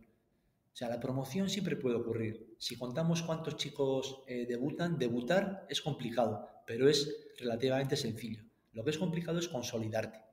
Entonces, la consolidación es clave eh, en ese paso de lo que es desarrollo y formación, promoción y consolidación. Y la consolidación, si tú no preparas a los chicos, los chicos no van a estar preparados para afrontar la élite y, la agresividad que tiene Elite eh, eh, tratando a, las personas y a los jugadores, porque ahí ya solo vale el rendimiento. Entonces vuelvo a decir, ¿desde dónde miras el proceso de desarrollo? Como lo mires desde abajo, posiblemente no vas a preparar al jugador para que esté preparado para el rendimiento. Entonces tenemos que tener claro desde dónde queremos mirarlo, cuál es la exigencia y cómo vamos a aplicar el programa. Sí, sí, sí, no, pero tú, em, aquel, aquel trabajo que hablabas eh, de preparar el jugador para todo lo que es eh, casi el, entorno del fútbol y la comunicación, eh, lidiar con los medios, etcétera, ¿ese tipo de trabajo ya lo empecéis haciendo con la Real Sociedad o todavía no? Mira, nosotros en la Real Sociedad lo que estamos es lo que hemos, lo que estamos estructurados en la organización es desde la desde, desde unidades de, desarrollo, ¿de acuerdo? Unidades de desarrollo que nos van a ayudar a generar un gran área de rendimiento, que es la clave. Nueve unidades, ¿no? Porteros, desarrollo individual, reclutamiento y las otras, ya, Bueno, veo que, que, tienes información. Sí, mira, son, son, son unidades que lo que queremos es, son unidades, primero, eh, lideradas por personas en un porcentaje muy alto, el 80%, personas que están trabajando en el primer equipo. O sea, Jonas Otegui, o David Hasamichana, o Iñigo Almandot, o Luis Llopis, o Beñat Lavallen, o Virginia. O sea, son, son, son unidades que el liderazgo lo llevan aquellos que ya están en élite y que conocen cuál es la realidad de la élite, ¿de acuerdo? Y a partir de ahí, lo que también, lo, que, lo que hacemos es naturalizar desde arriba lo que nos viene de, eh, lo que nos viene de abajo para arriba. ¿De acuerdo? Porque nosotros asumimos que nuestra prioridad es lo que viene de abajo para arriba. Y lo que queremos es naturalizar con la gente de arriba y a partir de ahí desarrollar lo que queremos hacer. ¿De acuerdo? Entonces, eh, que hay cosas que todavía tenemos que, mejorar, seguro. Me, me, hablas de la comunicación, he hablado. Todavía eh, tenemos que mejorar eso. Eh, yo creo muchísimo en, los especialistas porque tengo muy claro que mm, voy haciéndome mayor, ¿de acuerdo? Y cuanto más sé de todo, menos sé de cada una de las cosas. Entonces, esa, premisa para mí es clave. Eh, está muy de moda hablar del, del, aprendizaje, ¿no? de aprender, de, escuchar. De, Yo, yo, sinceramente, cada día tengo más claro que, que lo más importante es eh, delegar. Eh, y, y, para delegar tienes que dar autonomía y responsabilidad pero tienes que delegar en gente especialista en cada uno de esos ámbitos. No importa los ámbitos, cada uno de los, de los clubes entenderá cuáles son los ámbitos significativos de impacto más importantes, pero para mí es muy importante que, que esos estén liderados por personas con un conocimiento contextual eh, muy definido y con una disposición a entender el proyecto en el que están muy, muy, muy, muy determinada también. Muy, muy, muy determinada. Pero esa, esa delegación de, tareas, aunque en el papel pueda parecer eh, sencilla, la verdad es que eh, tiene, tiene, su, mm, tiene su dificultad, ¿no? O al menos eh, ponerlo sencillo también em, tiene detrás una, algún tipo de pensamiento, de visión. ¿Tú qué crees que es clave para esa delegación y para mantener todo el equipo motivado? Hay tres claves. Yo creo que eh, yo creo que liderazgo no tienes que, no, tienes que conseguir seguidores. Eh, hay una máxima por ahí, ¿no? Eh, el liderazgo lo que tiene que, que, que, inspirar es conseguir más, más liderazgos. Hay, hay, liderazgos que lo que intentan es tener seguidores para tener todo bajo control, por decirlo de alguna manera, ¿no? Yo creo que, lo que desde la responsabilidad lo que tenemos que, conseguir son gente, gente que traccione, gente líder, gente responsable. Eh, gente eh, autónoma. Entonces, para mí es clave eso, claro. En esa clave yo creo que, hay tres ejes también. Está el conocimiento, que para mí es clave. En el fútbol hemos tendido a, que una persona eh, sepa de todo. un carpintero hace los trabajos de albañilería, fontanería, coloca la red eléctrica. En fútbol muchas veces hemos sido hombres orquesta. ¿no? Yo creo que cada vez eh, los itinerarios de formación deben ser más eh, específicos. Eh, lo que tiene que ver también con el constante aumento de profesionalismo en el fútbol, ¿no? Eso es, eso es. Entonces, yo creo que lo que te decía, el conocimiento va a ser clave, la voluntad, la actitud va a ser clave y la habilidad va a ser clave. Yo creo que el conocimiento ya te lo están dando itinerarios específicos, la actitud, la voluntad, el, el, el, querer, pues bueno, puedes más o menos eh, eh, también reconocer a, elementos actitudinales.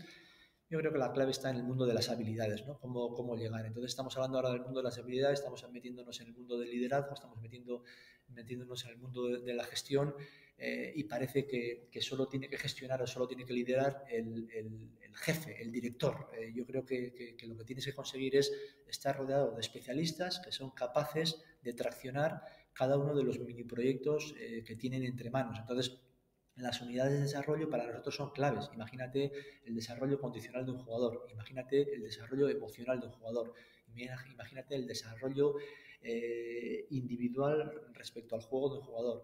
Eh, imagínate todo lo que tiene que ver con, con salud y rendimiento en un programa preventivo, no, no, no reactivo, que, que, ya es la élite, que, que, en élite pues ya eh, élite no es salud, ¿no? Pero para, pero, pero llegar a la élite pues yo creo que tienes que, aprender a respetar tu salud, a respetar tu cuerpo, a respetar eh, los hábitos de lo que haces con, tu vida. Entonces, todo eso, todo eso, si no, te, no estás rodeado realmente de, especialistas con conocimiento, voluntad y habilidad de poner en marcha todo lo que queremos, pues va a ser complicado. Vuelvo a decir, creo en escuchar, creo que aprendemos, pero creo que, creo que aprendemos juntos, con lo cual eh, creo que delegar es mucho más importante. Creo que nos hemos basado, yo sinceramente, y, he sido parte de ello eh, a través del tiempo, en que como escuchamos, aprendemos. Entonces lo que hacemos es robar ideas y aplicarlas como nuestra, en vez de realmente poner en valor a ese que le hemos escuchado algo extraordinario y decirle, tío, desarrollalo, eh, cuenta conmigo, dale. Sin embargo, nos hemos acostumbrado a todo lo contrario. Te cojo esa idea, la pongo yo en marcha y yo soy el que sigo liderando, y yo soy, yo soy el que sigo eh, mandando, por decirlo de una manera, ¿no? Entonces, sí, sí, sí, creo que hay que dar paso a, la gente buena. Creo que hay, hay, fuera, tengo un concepto, hay, hay, fuera siempre hay gente muy buena que te, que, que te enseña, pero, pero lo de aprender eh, no está basado en recoger las cosas y ser yo el que las haga. Está, yo creo que está basado mucho más en delegar y conseguir que, esa gente pueda, pueda darte lo que, lo que tiene para, para, incorporarle a lo que te decía, ese gran área de rendimiento que va a ser, que va a ser clave. ¿no? Haciendo una comparación entre el fútbol con eh, las, el mundo empresarial, es como las grandes empresas, ¿no? Que eh, cada vez más eh, ponen eh, las pequeñitas empresas, las llamadas startups, con determinados proyectos. Es decir, que prefieren invertir en pequeñas empresas para que esa idea pueda después crecer que propiamente ponerlo todo en, el misma, en la misma empresa. Aquí es un poquito así, ¿no? Que si tienes un equipo, eh, quizás es mejor eh, dejar cada tema específico a cada especialista que ser el propio con 20 temas y después no se hace ningún en una manera muy de con mucha calidad, ¿no? Eh, así pienso, no es sencillo, no es sencillo porque, porque tienes que cuando tú decides ese tipo de organización, decides también cómo vamos a tener que gestionar egos. Eh, estás decidiendo tener muchos líderes porque tú quieres, además, porque eh, entonces eh, estás, estás, estás decidiendo que cada una de esas cosas en sí es la más importante, con lo cual les estás diciendo a ellos que en un momento dado van a ser los más importantes, pero ellos tienen que asumir también que hay momentos de, de importancia para cada una de ellas, con lo cual coordinar cada uno de los responsables de esas unidades va a ser clave. Eh, y coordinar eh, pues esa, ese riesgo de conocimiento que, te va a llegar de cada uno de ellos eh, va a ser clave y ellos tienen que entender también una vez más, pues si antes hablamos del sistema de priorización respecto a las etapas, respecto a las edades, respecto a los individuos, también van a tener que entender la priorización de contenidos. pero, pero, pero bueno, eso te hace ser una organización viva, ser una organización en la cual continuamente se esté buscando. Yo creo que, el, que, en el, que, en el, estamos hablando de desarrollo de talento, estamos hablando del desarrollo en, general. Entonces creo mucho más que un club eh, debe estar vinculado a la, a la búsqueda continua que a la espera de lo que venga. ¿De acuerdo? Entonces, eh, en esa búsqueda, pues eh, posiblemente mm, vas a cometer algún error más, eh, pero, pero te va a ayudar a seguir evolucionando. Eh, creo que antes me preguntaba sobre los procesos de desarrollo. Creo que en general los procesos de desarrollo más, han estado más basados en la espera. En la espera vamos a ver quién viene, vamos a ver que en la búsqueda. En la búsqueda significa compromiso, en la búsqueda significa iniciativa, en la búsqueda significa decisión. Eh, en la búsqueda, la, búsqueda no es reactiva, es proactiva. y muchas veces los procesos de desarrollo para terminar con los jugadores en el primer equipo han estado mucho más basados en la espera que en la búsqueda, porque posiblemente pues bueno, te compromete menos, ¿no? La, búsqueda te expone mucho más, eh, es lo que creo. Sí, sí, sí. ¿Cuántos casos de, jugadores que hemos visto ya a lo largo de, la, de los años, de jugadores que eh, no eran eh, un destaque en los juveniles, pero que por necesidad eh, tuvieran que, tuvieron que jugar en el primer equipo y que después han hecho una, una carrera a, a, un nivel altísimo, ¿no? Pero hay una cosa que me, que me está haciendo un poco uh, de, de, confusión entre, entre comillas en esta conversación, que tú habías comentado que tenéis el objetivo del 40-60 en el primer equipo, ¿verdad? 60% de jugadores formados, 40 de jugadores Eso es. Pero ese objetivo ha, ya ha sido logrado, ¿no? Porque el 60% de una plantilla de 25 jugadores serían, si no estoy equivocado, un, eh, 15 jugadores y en este momento la Real tiene 16, ¿no?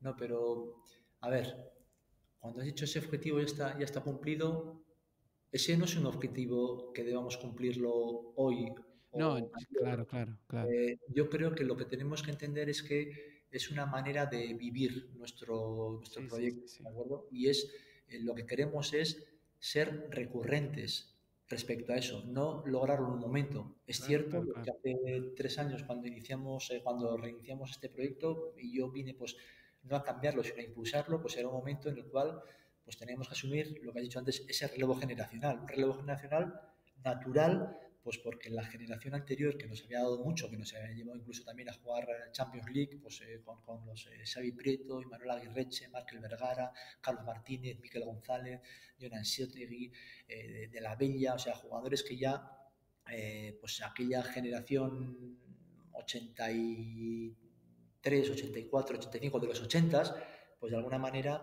pues ya se había ido apagando, ¿no?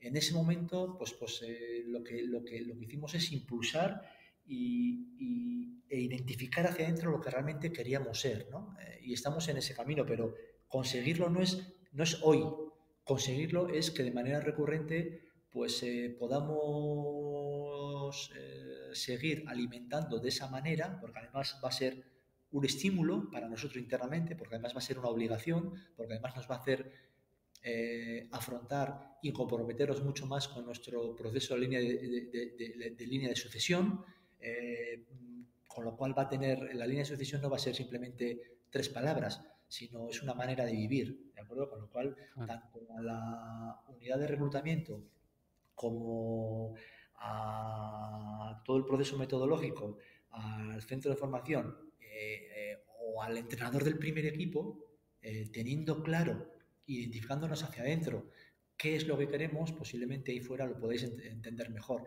Pero es, es un proyecto que ten, en, el, en, el, cual tiene que estar comprometido absolutamente todo el mundo. Ese 60-40 no puede ser. Sí, una, un año, claro, claro, no, puede claro. Ser, no puede ser una propuesta de la dirección de fútbol o, o, o, o la filosofía de, del Consejo de Administración, tiene que ser entendida por parte de, de, de, de, todas las partes. Y esa es una de las cosas que en los clubes yo creo que tenemos mucho que mejorar, que todas las partes entiendan eh, cuál es la filosofía, cuál es el modelo y cuáles son los, los, objetivos del club. Yo tengo muchas, la sensación muchas veces que por cultura no conseguimos convencer eh, al entrenador, al preparador físico, al administrativo, a los responsables de unidades. Me da igual el, el organigrama de cada club, me da igual cómo lo afrente cada uno, eh, de, de, de, cuál es el proyecto colectivo, de cuál es el proyecto que tenemos entre manos. Y simplemente cada uno hace su trabajo. Eh, con lo cual pues generamos eh, demasiados eh, espacios estancos en los cuales pues eh, cada uno está haciendo eh, lo mejor que puede lo suyo pero no entiende cuál es el impacto de lo que él está haciendo desde el médico hasta el utillero eh, yo creo que es muy importante que todas las personas participantes en un proyecto tengan claro en qué momento ellos están participando y cuál es el impacto que entendemos eh, le van a dar a ese proceso, a ese itinerario de desarrollo. Eh, por eso te digo que desde la dirección de fútbol de la Real Sociedad es muy importante que, que, yo tenga claro cuál es la potencialidad de la generación 2008 que tenemos en infantiles y de, y de la generación sub-21 que tenemos en el Sanse. Cuál es la potencialidad que tiene cada uno de los jugadores eh, colocados en cada una de las posiciones que, y perfiles que tenemos en el club. ¿no? Un, un, itinerario y un proceso sin breaks, sin rupturas, eh, con continuidad, con estabilidad, con programa, con procesos, eh, con prioridades eh, y yendo a la, a la médula de, de, de, de, cada individuo, ¿no? que, es, que, es, la sensibilidad y la necesidad que, que vamos a, a detectar para, para, hacer con cada uno de los, de los chicos que tenemos. y pensando siempre en el proceso de reclutamiento de, jóvenes jugadores, el Athletic, el gran rival de, de, Vizcaya de la Real Sociedad, tiene reglas muy estrictas ¿no? con respecto a quién pueden fichar. ¿Tú crees que el hecho de que la Real tenga de hecho una filosofía de apuesta por el talento local, pero que no existan reglamentos en ese sentido, os ofrece alguna ventaja competitiva en la región vasca? Yo, o sea, vamos a ver, eh, intento no, no, no, fijarme en el Atleti, intento tener claro qué es lo que queremos nosotros. Y evidentemente el Atleti es parte de nosotros. ¿Por qué? Pues porque es parte de la historia, es parte de la... De, es un adversario, es parte de nuestro, de, nuestro, de nuestro eh, convivencia derby, es, es, parte de todo ello, pero no se me puede olvidar que, también es parte el Alavés que, que está en un, eh, ámbito regional cercano, es parte el Osasuna, es parte el Eibar, eh, tenemos que, entender que ahora mismo somos cinco equipos en, en, un, en una eh, densidad territorial de más o menos 100 kilómetros, que estamos compitiendo en élite y que estamos teniendo posiblemente los mismos objetivos, cada uno con sus medios. Eh, el Atleti basa su, proceso de selección eh, en unos parámetros que, que, son los que supongo su, su filosofía les obliga, pero nosotros lo que, lo que hacemos es intentar profundizar. Mira, Pedro, si nosotros tenemos claro cuál es nuestra filosofía, eh, mm, cómo queremos eh, eh, afrontar nuestro modelo, cómo queremos jugar incluso, porque queremos ser mm, de una manera determinada incluso en el juego. Pues eso nos, tiene, nos, nos obliga a, profundizar muchísimo más en cada uno de los ámbitos. Y profundizar en nosotros pasa evidentemente por tener una mirada de lo que ocurre alrededor, pero no pasa por perder demasiado tiempo en qué están haciendo los demás. Pasa por, por, intentar detectar, detectar cuáles son tus fortalezas, cuáles son tus habilidades, perdón, tus debilidades eh, y a partir de ahí pues eh, seguir eh, intentando mejorar y mejorar. Pero vuelvo a decir, el adversario como en el campo siendo parte de ti no, no, no, es determinante a la hora de, de tu, de tu plan estratégico. Sí, sí, sí. Tú, mm, eh, ¿La Real tiene algún tipo también de, de, guía en lo que respecta a sus fichajes? Porque, por ejemplo, eh, el Leeds United creó un documento llamado de ADN del futbolista de Leeds que lo que busca es ser una, una, guía de lo, que pretende para, de lo que pretende para el perfil de un jugador del Leeds. ¿Tenéis algún documento de este tipo? Mira, nosotros tenemos muchos documentos. Yo he aprendido en el tiempo que, documentar eh, es importante no solo por, lo que queda, sino por el tiempo pasado hasta construir ese documento, ¿de acuerdo? Por el tiempo invertido, eh, por el tiempo compartido, por los momentos de escucha a las personas, por momentos de delegación.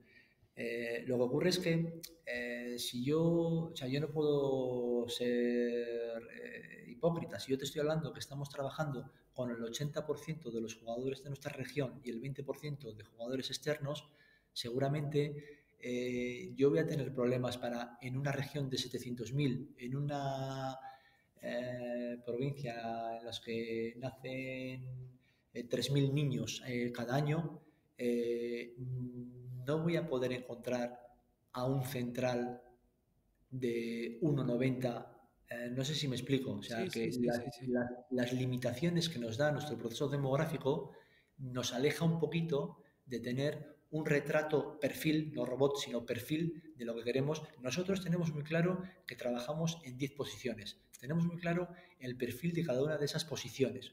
Pero lo que no quiere decir es que ese perfil eh, niegue la incorporación de un jugador que entendemos que tenga un talento, porque el talento va mucho más allá, o sea, el talento eh, eh, es algo que, que, que, tiene todo el mundo, eh, lo único que hace falta es reconocerlo o manifestarlo, y ahí está, no podemos, en base a las cualidades que tenga un chico, más o menos, negarle la opción de eh, aspirar a cualquiera de los perfiles que tenemos dentro del club. No sé si me he explicado. Sí, sí, no, perfectamente. Que, que, definamos cuál es el perfil del central, de nuestro delantero centro, de nuestro medio centro, de nuestro medio volante, de nuestro eh, media punta, todo ello, pero ¿qué ocurre si eh, dentro de ese 80% no encontramos? ¿Qué ocurre? Pues que posiblemente nos implique y nos obligue a buscarlo fuera. Mira, te voy a poner un ejemplo. En nuestra región, claro, nosotros no nos abastecemos de nuestra región y nosotros somos lo bueno y lo no tan bueno de nuestra región. Entonces, nuestra región es una región en la cual el deportista es más, en general, de correr más que de correr rápido. Por eso yo creo que la Real Sociedad tiene un histórico de, formación de medios centros que no creo que tenga que ver con una casualidad, tendrá, tiene, tiene que ver con una causalidad, ¿de acuerdo? Con lo cual, nuestros, eh, nuestra base de jugador explosivo y rápido es menor que nuestra base de jugador resistente. Con lo cual ya nos está diciendo que posiblemente nuestro perfil de jugador externo va a estar muy determinado por sus capacidades eh, respecto a fuerza explosiva o velocidad eh, relacionadas al juego. ¿vale? Pero evidentemente y efectivamente tener claro los perfiles de posición te va a ayudar a detectar qué es lo que tienes o qué es lo que te falta. Con lo cual, en ese 20% de externos del centro de formación o en ese 40% firmados en el primer equipo, pues tendrás que buscar posiblemente cualidades que no tienes para posiciones que no has podido desarrollar. Obviamente. ¿Y, qué crees que mm, eh, está en la base de, del tipo de características para cada región? Es decir, ¿por qué eh, en uh, Guipúzcoa quizás el jugador sea más para, ser, para poder jugar como medio centro, sea más cerebral y en una otra región, en Sudamérica, por ejemplo, se produzcan tantos jugadores técnicos y rápidos? ¿Qué crees?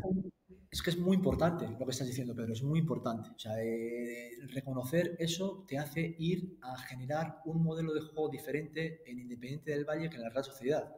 ¿Por qué? Porque Independiente del Valle, eh, por ejemplo, el impacto afroamericano que tiene es brutal, con lo cual los niveles de los niños eh, eh, afroecuatorianos en términos de fuerza explosiva y velocidad, pues te dice que posiblemente son jugadores que para eh, explotar los carriles exteriores o para explotar acciones como es el uno para uno o para explotar lo que significa el espacio, pues eh, te va a hacer tener que buscar para tu primer equipo quizás jugadores más cerebrales, jugadores más cognitivos, jugadores, me explico, o sea, es absolutamente diferente. Luego tenemos que tener en cuenta que posiblemente aquel jugador con unos niveles de fuerza explosiva menores con los cuales se ha tenido que esforzar menos en entender el juego, posiblemente eh,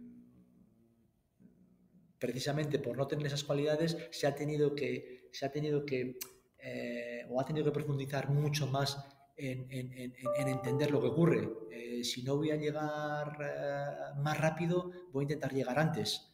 Con lo cual, para llegar antes, sin ser más rápido, voy a tener que pensar antes, voy a tener que ser más proactivo.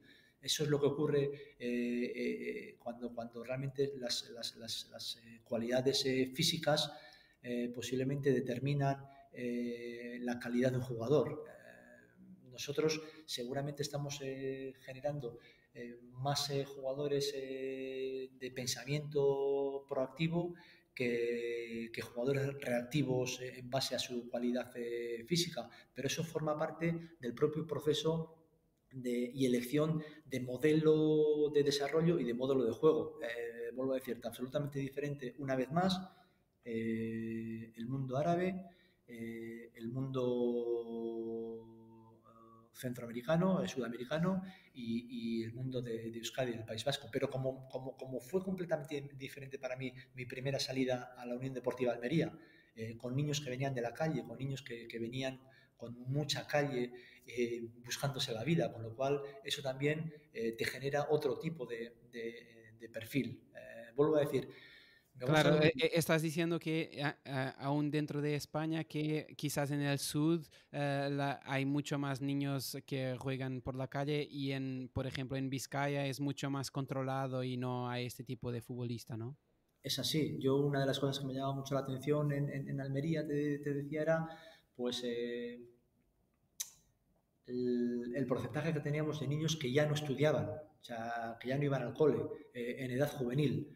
Eh, eso te va diciendo algunas de las cosas de qué es lo que está ocurriendo a nivel social, pero también eh, em, tienes que tener, en cuenta la meteorología del sol, con lo cual si ahora tanto hablamos del, deporte no reglado en la calle, pues eh, son lugares que todavía pues la luz y la temperatura y todo ello te ayudan a que la calle sea parte de tu vida una sociedad capitalista pues que cada día pues eh, todo tiende a, controlarlo más y todo tiende a convertirlo en actividad extraescolar eh, conducida y controlada, ¿no? Eh, has abierto un, melón muy chulo que es, me, hablabas de los, de los perfiles, pero los perfiles tienen un componente de impacto social importante, tiene un componente de impacto de modelo de club eh, importante y lo más importante de todo, y valga la redundancia, es intentar tener claro cómo impacta cada una de las cosas para que luego el proceso de toma de decisión eh, tenga una lógica interna también como el juego. Sí, sí, sí, no, eh, en el aspecto del ADN em, la referencia era más para eh, las características mentales del atleta, eh, en el sentido de que en un hay determinados equipos eh, en, en, los que esto se siente todavía más, que a quien les gusta mucho el jugador, por ejemplo, más esforzado, que es el jugador que no piensa jamás que un balón está perdido. Entonces era más en el sentido de em, particular, particularizar una, un determinado tipo mental de, de jugador? Nosotros lo tenemos eh, y creo que, creo que el ámbito emocional es, es, clave. Eh, creo que además hay muy poca exploración en, el ámbito emocional, en el ámbito cognitivo. Hay muchísima, hay mucha, información de test de los chicos a nivel condicional, eh, de, su realidad motriz, de su velocidad, de su capacidad de resistencia, de su fuerza explosiva. Eh, bueno, no hemos invertido demasiado en, lo que significa eh, pues el proceso emocional del jugador. Mira, nosotros en, Doha uno de los test que hacíamos a los chicos que se incorporaban tenía que ver con, con, su, con su nivel de frustración. Pero fíjate, allí el nivel de frustración, eh, aquí lo tendremos en cuenta para ver cómo afrontan la dificultad en élite, ¿no? Allí su nivel de frustración era para ver cómo afrontaban eh, lo que significa el trabajo del día a día. Para nosotros allí lo importante era, eh, para, para, acabar terminando, para acabar pensando en el Mundial, lo más importante era pensar en que mañana vinieran a entrenar. O sea, aquí castigas, yo castigo a mi hijo sin ir mañana a entrenar cuando hace algo mal. Allí todas las motivaciones, todos los estímulos estaban relacionados con intentar convencerles de que mañana vengan a entrenar, con lo cual teníamos, intentábamos indagar, eh, profundizar en, sus respuestas eh, ante la frustración, en su estrés, para intentar entender si era un jugador que iba a, afrontar de la mejor manera lo que significa un programa de siete entrenamientos semanales, un programa de doble sesión eh, diaria, un programa de ese tipo. O sea, no estábamos pensando en la élite y en aspectos de frustración relacionados con la élite. No, no, estábamos pensando en eso, algo impensable aquí. Aquí ahora mismo para nosotros es muy importante el nivel de frustración, pero es muy importante el nivel de frustración ante situaciones de estrés, ante situaciones, me explico, entonces eh, creo que nosotros ahora en el club también estamos intentando entrar en el mundo de la, del conocimiento cognitivo del jugador, porque creo que es un, área que nos queda por, por, desarrollar en el mundo del fútbol. Estamos eh, iniciando pues, todos los, los, los, trabajos de, de intentar testear, intentar conocer al jugador más allá de, su proceso de toma de decisión, que lo vemos en el tiempo, sino, sino bueno, intentar entender su, arquitectura cognitiva, porque va a ser muy importante, eh, porque enseñamos casi casi solo de una manera y enseñamos eh, solo de una manera a 200 niños eh, y son 200 eh, chicos absolutamente diferentes y tenemos poca información de ellos y queremos impactar en ellos emocionalmente, pero tenemos poca información de su arquitectura, emocional y queremos que ellos entiendan el juego y queremos que sean autónomos y queremos que, que, sean creativos, pero tenemos poca información de su arquitectura cognitiva respecto a, cómo es él.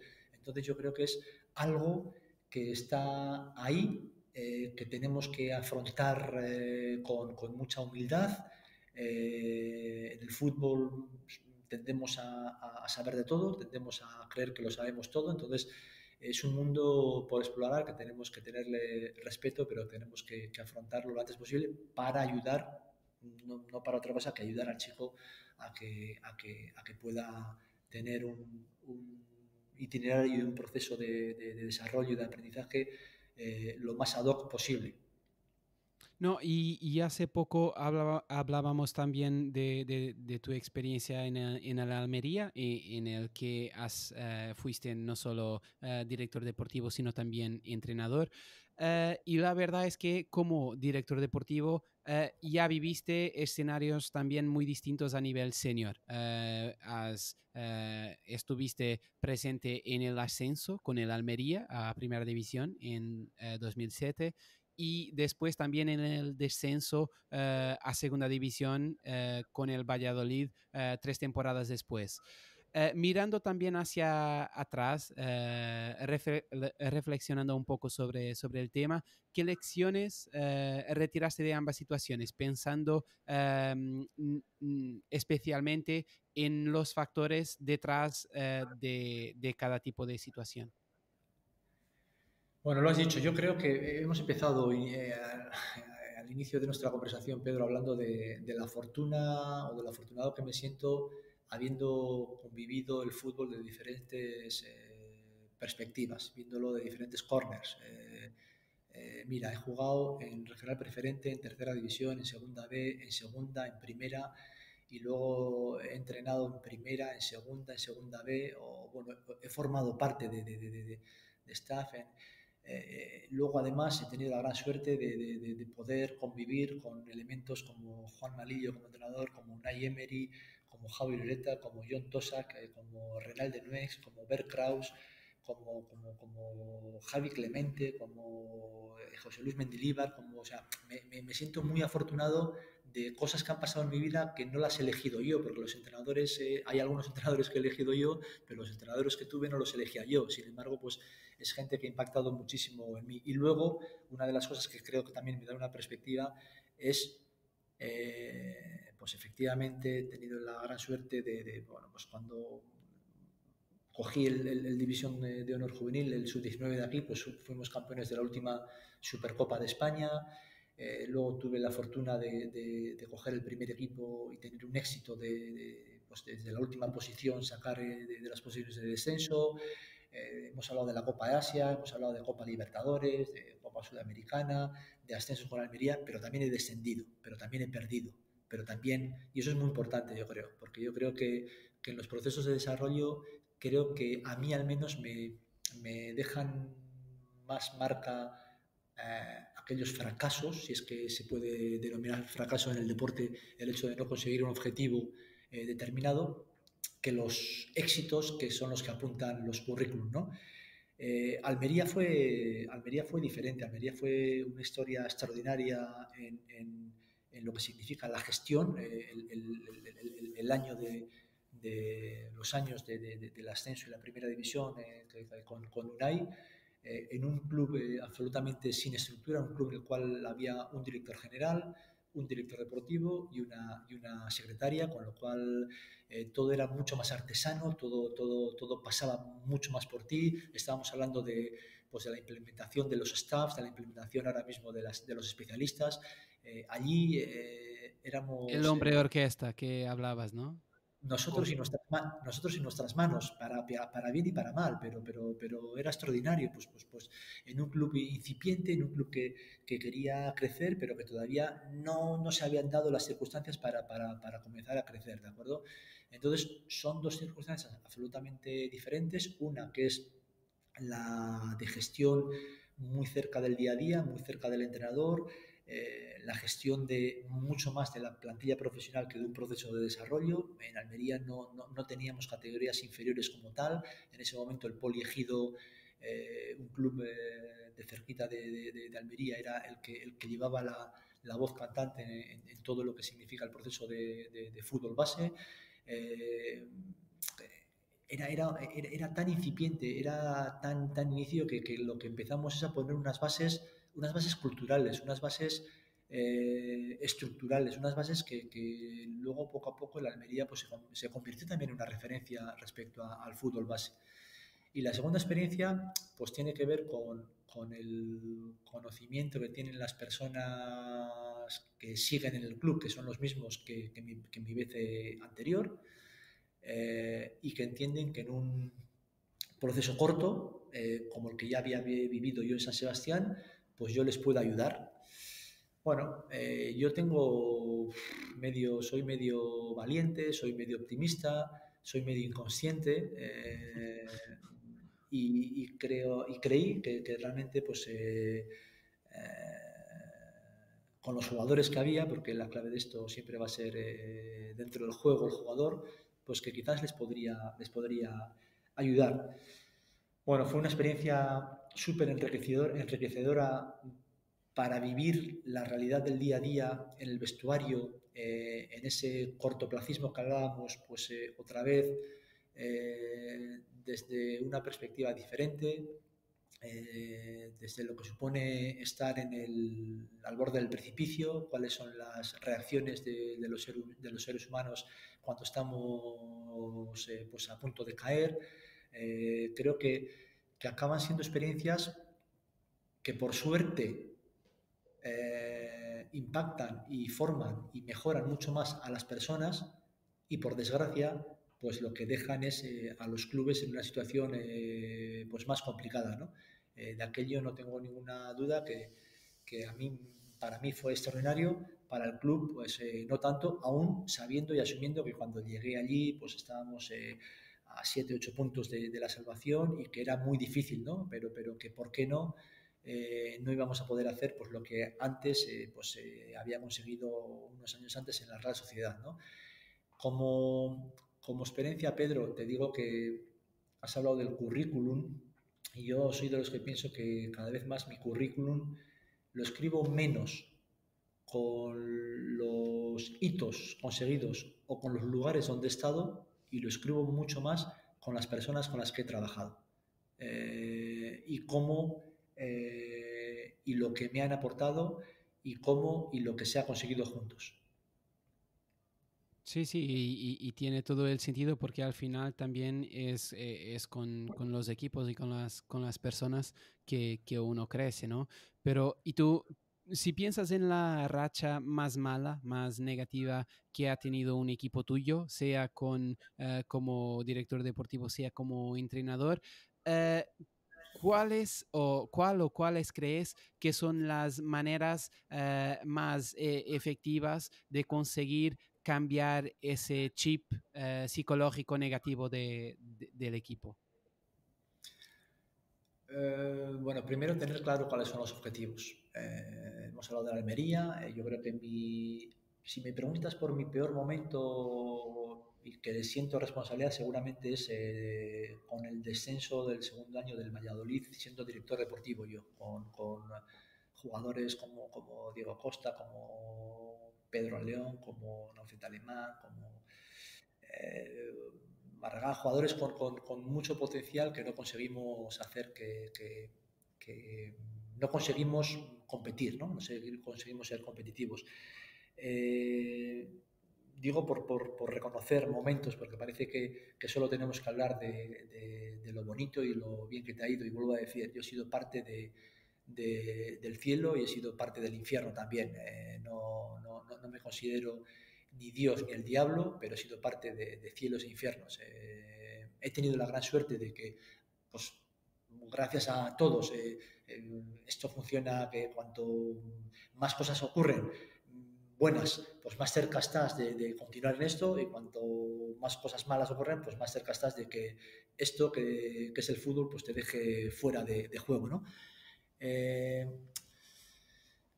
yo creo de verdad que, respecto a lo que me preguntas eh, y las eh, rachas y cómo resolver las rachas, es muy importante que tengamos en cuenta cuáles son, cuál es el primer paso del, del proyecto, cuál es el primer objetivo del proyecto hay demasiadas veces que los resultados te van yendo o te van haciendo ir tomando decisiones sobre, sobre, sobre la marcha eh, relacionadas con ese momento malo. ¿no? Yo creo que en el fútbol eh, deberíamos hacer un ejercicio mucho más eh, profundo y mucho más de vez en cuando de, bueno, ¿dónde empezamos? ¿Cuáles eran los objetivos? ¿Qué es lo que planteábamos? ¿Cómo empezamos todo esto? Eh, y que la gente además sepa por qué y para qué y cómo empezábamos, porque es una manera de tener una fotografía más real de incluso cómo no se ha ido consiguiendo o cómo se ha ido deteriorando o cómo ha ido mejorando el proceso. Lo que pasa es que en el fútbol somos muy reactivos y tendemos a ir tomando decisiones con lo último que pasa, lo último que pasa, lo último que pasa. Con lo cual no dejamos fluir y no dejamos eh, consolidar cosas buenas. Eh, por eso el mundo del fútbol es tan, tan eventual, por eso en el mundo del fútbol estamos saliendo y entrando entrenadores, pero también directores, pero también, eh, porque creo que hay muy pocos ejercicios de espera un poco, ¿cómo empezamos? Yo creo que eso es clave para, para saber por qué estás perdiendo, tienes que entender por qué empezaste. Porque hay muchas veces que cuando no sabes por qué ganabas, ¿cómo carajo vas a saber por qué estás perdiendo? Con lo cual es muy importante no tener la visión sobre la victoria o la derrota inmediata, sino ir a la génesis. Cuando empezamos esto, ¿qué planteamientos teníamos? ¿Qué objetivos teníamos? ¿Qué aspiración teníamos? ¿Cuáles eran los medios que teníamos previstos eh, poner en marcha? ¿Con qué recursos lo hicimos? Eh, para intentar darle una línea de continuidad a ese momento, a esa racha. Porque ese momento y esa racha puede tener muchos condicionantes. Y si solo te fijas en el aquí y en el ahora, que es muy importante vivir el aquí y el ahora, pero tienes que tener un hilo conductor. ¿Cómo? ¿Qué es lo que me ha hecho llegar aquí y ahora? Y, lo, lo, decías perfecto, que eh, ese ejercicio también debe de ser hecho cuando ganas, ¿no? Eh, como decías, si no sabes cómo, cómo ganas, cómo, cómo sabes uh, cuando pierdes. Y muchas veces, en, en mi opinión, muchas veces los clubes se equivocan porque los, las victorias terminan em, encubriendo a muchos errores que van haciendo, ¿no? Así que eh, es, mucho es muy importante que tú sepas exactamente analizar qué se hace de mal, eh, de, mal en un club, aunque ganes, para después, porque si haces esto, obviamente que conseguirás hacerlo también cuando, cuando pierdes, ¿no? Eh, Pedro, mm, nada que, decir. yo creo que, los momentos de, victoria, además, porque porque no hay una presión, porque no hay una presión añadida, eh, yo creo que deben, ser los momentos de más autocrítica, ¿de acuerdo? Eh, ocurre en el mundo, de, el mundo social, pero en el fútbol en particular, que cuando tienes mucha crítica de fuera, eh, cuesta tener una autocrítica, ¿de acuerdo? Cuesta porque parece que todo, todo te viene de fuera. Yo creo que precisamente los momentos eh, ganadores, los momentos eh, en el cual las cosas van como tú pensabas que, estaban o incluso mejor, es un buen momento para desde la confianza, por decirlo de una manera, trabajar la autocrítica. Porque luego cuando la crítica es despiadada, los estados de, autoconfianza bajan muchísimo, con lo cual ahí tiendes a protegerte con lo cual ahí eh, los estados de autocrítica eh, no los puedes desarrollar. Por eso cuando ganas y tu estado de autoconfianza es alto, es el mejor momento para intentar eh, apretarte y apretarnos con una visión autocrítica de lo que está ocurriendo, de cómo podemos realmente ser conscientes de, por qué ocurre y, cómo vamos a querer ser recurrentes con eso porque si no aspiramos a ser recurrentes con ese buen momento, posiblemente lo que estemos viviendo es picos de, que no nos van a dejar eh, ser de una manera. Para mí es muy importante en una organización, en un equipo, en un club, intentar ser aspirante a algo y que ese algo sea siempre lo mismo porque es la manera que realmente te va a exigir, es la manera que te va a comprometer, porque todo lo demás, pues vamos a movernos en picos que nos eh, llevarán a un lugar eh, unas veces, a un lugar eh, otras veces, y que, que, yo creo que mm, si ocurre, si ocurre eso, no sé si me ves, Pedro, si ocurre eso, está basado en que no ha habido un momento de revisión, de revisión, lo que te decía antes. Iniciemos, vayamos al inicio. Eh, ¿Tenemos que cambiar algo? ¿Hay algo que haya cambiado? Eh, ser consciente. Yo creo que en esta vida la conciencia es clave y la evaluación es conciencia. Y la conciencia pues te genera una, palabra parecida que es eh, conciencia con lo que ocurre que te acerque a una realidad eh, y que la victoria no sea una casualidad para que luego, como consecuencia, la derrota no te lleve a donde, donde no quieras. E, el club inglés eh, Brentford tiene un, un, ejemplo muy curioso que, claro, será eh, difícil que se haga en el caso de que un club no sea de propiedad y también que tenga una masa social de aficionados eh, más grande, pero no es que sea imposible, simplemente será todavía más difícil, pero que es cuando eh, años atrás han sido, el club fue, eh, ascendió a la división siguiente y aún así han despedido al entrenador porque han hecho, hicieron esa evaluación y entendieron que, estarían mejor con, otra persona. Y yo creo que este es, un ejemplo, eh, repito, que creo que es difícil, eh, mucho más difícil de hacerlo si el club no es de propiedad y eh, está mucho más dependiente del juicio de, los aficionados y si tiene una masa social más grande. Pero es curioso, ¿no? Este es un ejemplo curioso. Bueno, eh, es un ejemplo, supongo, no conozco la realidad, eh, conozco lo publicado, eh, que, muchas veces el, rendimiento, ¿quién lo marca? ¿no? El objetivo, ¿quién lo marca? es muy importante, Pedro, tener, tener en cuenta eso. Si, si, el objetivo lo marca una clasificación, el objetivo lo marca una lo que decías, la, masa social, eh, que la masa social en momentos puede ser una masa crítica o una, masa eh, tractora, por decirlo una manera, de, proyecto. Em, yo más allá de, del propietario que me decías como tal, yo creo que es importante. Al final los clubes eh, los van a gestionar o un consejo de administración con un presidente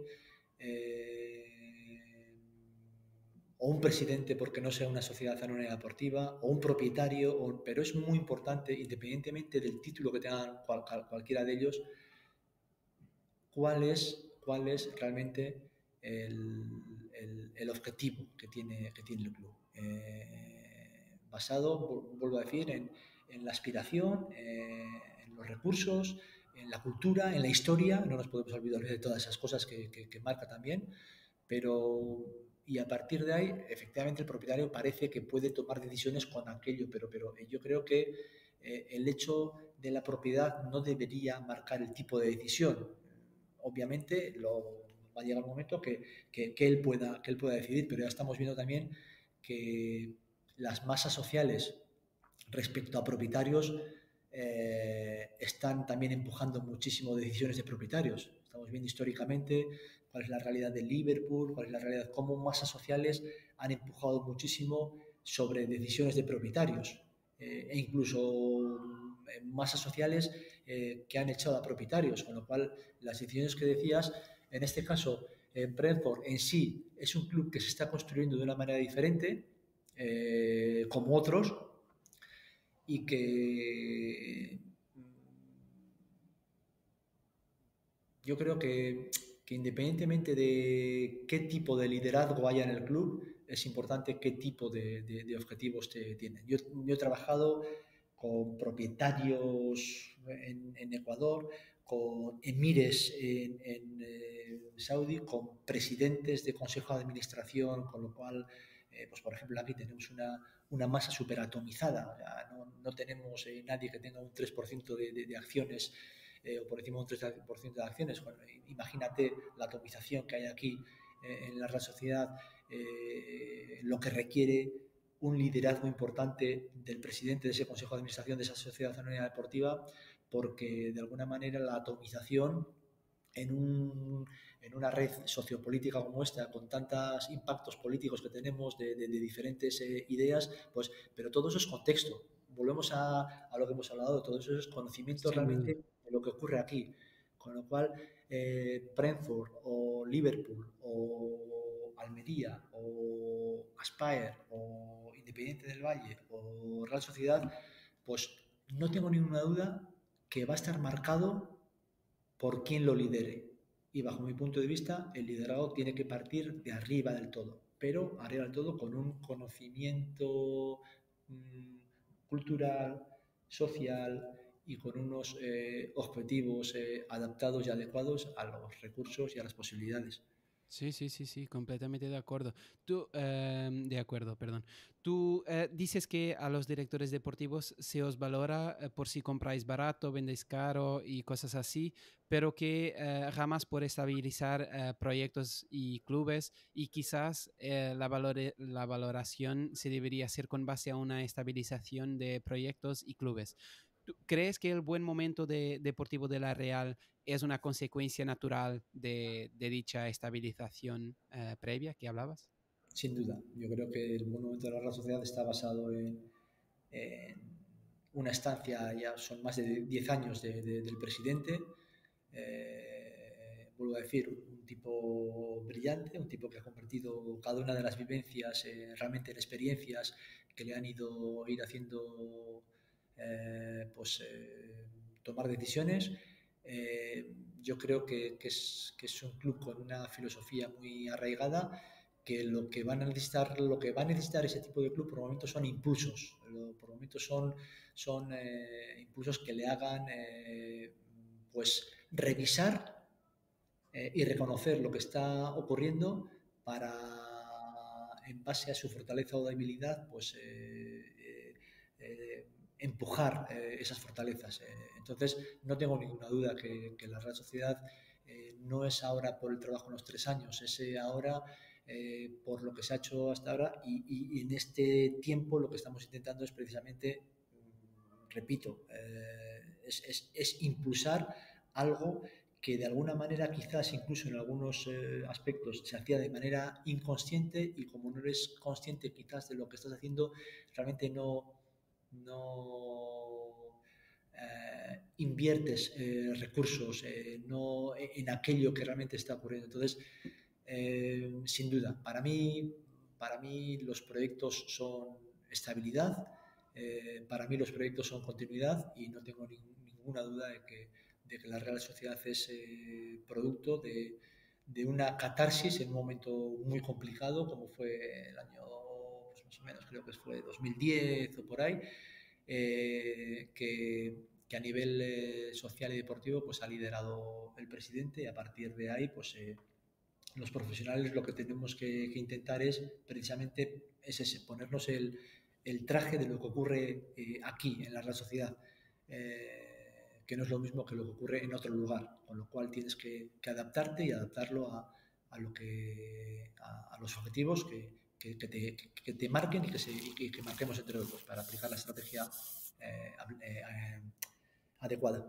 Y, la Real es solo un ejemplo más de un club que eh, muestra cómo el fútbol es cíclico, ¿no? Porque si miramos al club 10 años atrás o 15 y si, y si comparamos el momento deportivo y financiero y financiero del club, es, una, es un club totalmente distinto, ¿no? También con el tema del estadio, de la renovación, un club mucho más em, preparado y organizado y, eso creo que lo vemos eh, eh, en, en, varios clubes, ¿no?